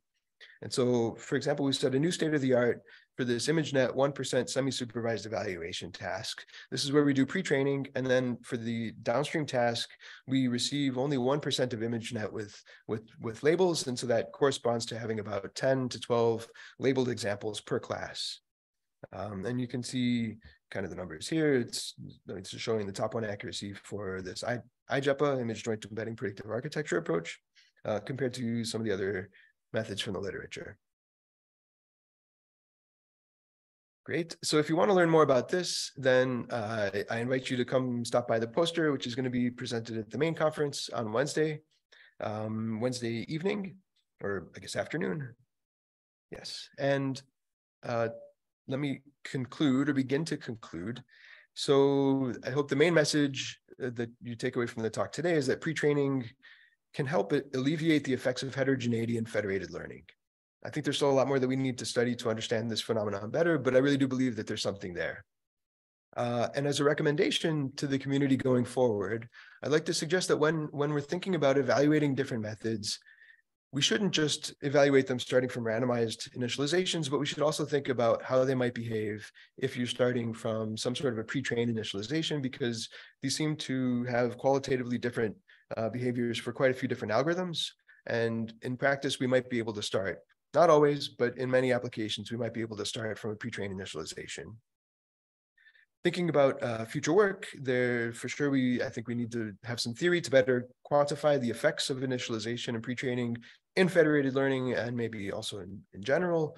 Um, of course, there's issues that we'll need to also better get a better handle on things like how does the data set that you do your pre-training on potentially introduce biases or more generally how do we handle distribution shift between the data set that we're pre-training on and then what we were doing federated training on afterwards and like I hinted at at the end of the talk there, there's other forms of pre-training besides supervised pre-training that seem very uh, both interesting and important to study further, things like meta-learning and self-supervised learning.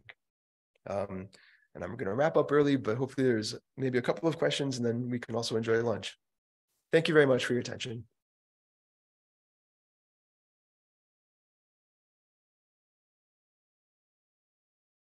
Hi, thank you so much for that great talk. Uh, I just was wondering about the speed up that you may have uh, observed regarding basically pre-training the models. What kind of uh, epochs uh, did you save in terms of uh, server time or like training time? So we didn't try to quantify it specifically for this study. Um, I think you could go about doing this kind of a study in one of two ways. One is you fix the number of rounds that you're going to do for federated training for all algorithms, and you see what is the final accuracy that you get to. The other approach, which we didn't do, but which could be done, would be to fix a target accuracy and see how long it takes each method to get there from different initializations, and that would help help to quantify this the speed up. So part of this study, what was the cutoff mechanism? Which cutoff? Basically for the training, loss stopped going and you just uh, how, what was the stopping? Yeah. So we fixed the number of rounds. So we said Ah. every algorithm gets to run for, I forget, it changed for each workload, but say a thousand rounds. Um, and we see who gets to the best accuracy at the end of the thousand rounds. Thank you I so much. think I can have backup slides. Um, yeah, so this would be, these are, I wouldn't read too much from this, but this is the kind of thing that you see if you look at some of the training, um, training curves, right? Now keep in mind that, you know, so I, I, I hesitate to draw too many conclusions from these because the learning algorithm, the learning rates here were tuned to get the best final accuracy for each method, not to get to a target accuracy as quickly as possible. So that might change things. But you see, for example, with CIFAR, um, at initialization, the accuracies are not too different between pre-trained, which is in blue, and random, which is in orange. Um, but you know, it learns much quicker. Again, this is without quantifying. Yeah. Yeah. Okay, fair enough. Thank you so much. You're welcome. Thank you.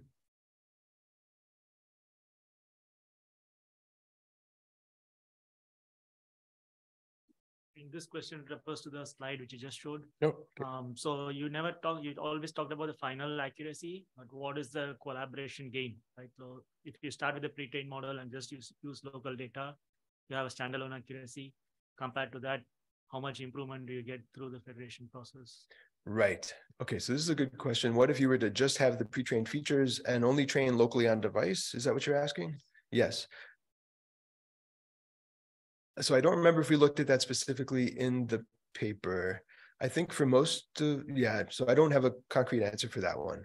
Um, other than to say, I believe that there is a gain. What we did look at in the paper in the appendix is what were what if you were to freeze the backbone and only train the classification head in a federated manner and you definitely see a, a you know non-trivial gap between doing that and training the entire model end to end in a federated way even from the pre-trained initialization So my hunch is that I think, and I think some of these problems are even set up so that the question might be ill posed if you don't do federated training in the sense that any individual client does not have instances of all classes. And so you have to think carefully about how to evaluate in that setting as well. But it, it's a good question. It is a good question. So, so I guess in that sense, you have the pre-trained model, then you just train the locally. That's kind of like centralized transfer learning. Yeah. So that definitely, you know, if the data distribution, I mean, is similar, or we all using ImageNet pre-trained model to fine tune. So in general, I think it will improve performance locally. Um, I do have a question. Okay. So, so I think this is a, a very uh, insightful work. We actually look at your paper, and also um, I think one other group from Ohio State they also analyze uh, the pre-trained model and uh, train from scratch. So get maybe similar uh, conclusion. So I was also wondering um, if you explore the, uh, here you're using the supervised pre-trained model, right? So what about the self-supervised, like Dino V2, Dino series? Like what's the difference? Or which one we should, you know, choose? you know in practice yeah so i think that's a great question sort of i don't have conclusions to share with you today um, but I think it's definitely a question worth asking. Yeah. Yeah. Oh, hello. May I ask a question online? Please go ahead. Yeah, sure. Go ahead. Yeah, I see your future work mention uh, self-supervised learning for the pre-training. Can you elaborate a little bit how the self-supervised can can be done uh, with the pre-training? Sure. So I'm thinking in this case of doing self-supervised pre-training in uh, in you know offline, not not in the federated phase. Um, there's several methods that have been proposed in the literature for how to do this. The IJEPA one is a recent one that I just mentioned, but there's several predecessors before that. Um, so it depends on you know kind of the the modality of data that you want to deal with, whether it's images, text, images and text, and so on. Um, I guess if you have specifics in mind, I'm happy to follow up offline um, and with suggestions for what what you could consider there. But I think there's already a you know kind of substantial and growing literature around various ways to do self-supervised pre-training. I don't know if that oh, helps. Okay, thank you very much. Okay, so thank you again. Um, so thank you everyone. Uh, you have a question? okay, Bye. thank you.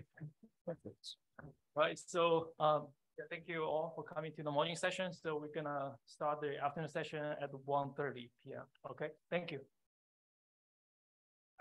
So much.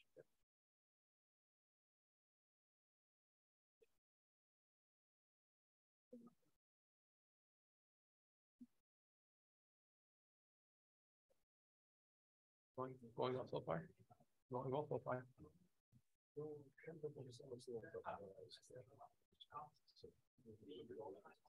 Is Dr. Shaw here? Dr. Shaw is here, right? Okay. We're not doing the CV, CRCV launch anymore? Yes. Wednesday? Okay. Okay. Problem is. I know. Wednesday.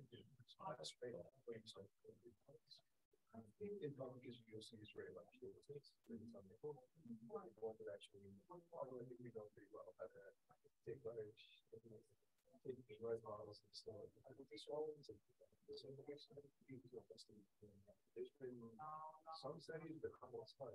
I think just doing it in the context of self-supervised because usually you know the installation and doing the local logits, but in self-supervised power training, you're just training uh,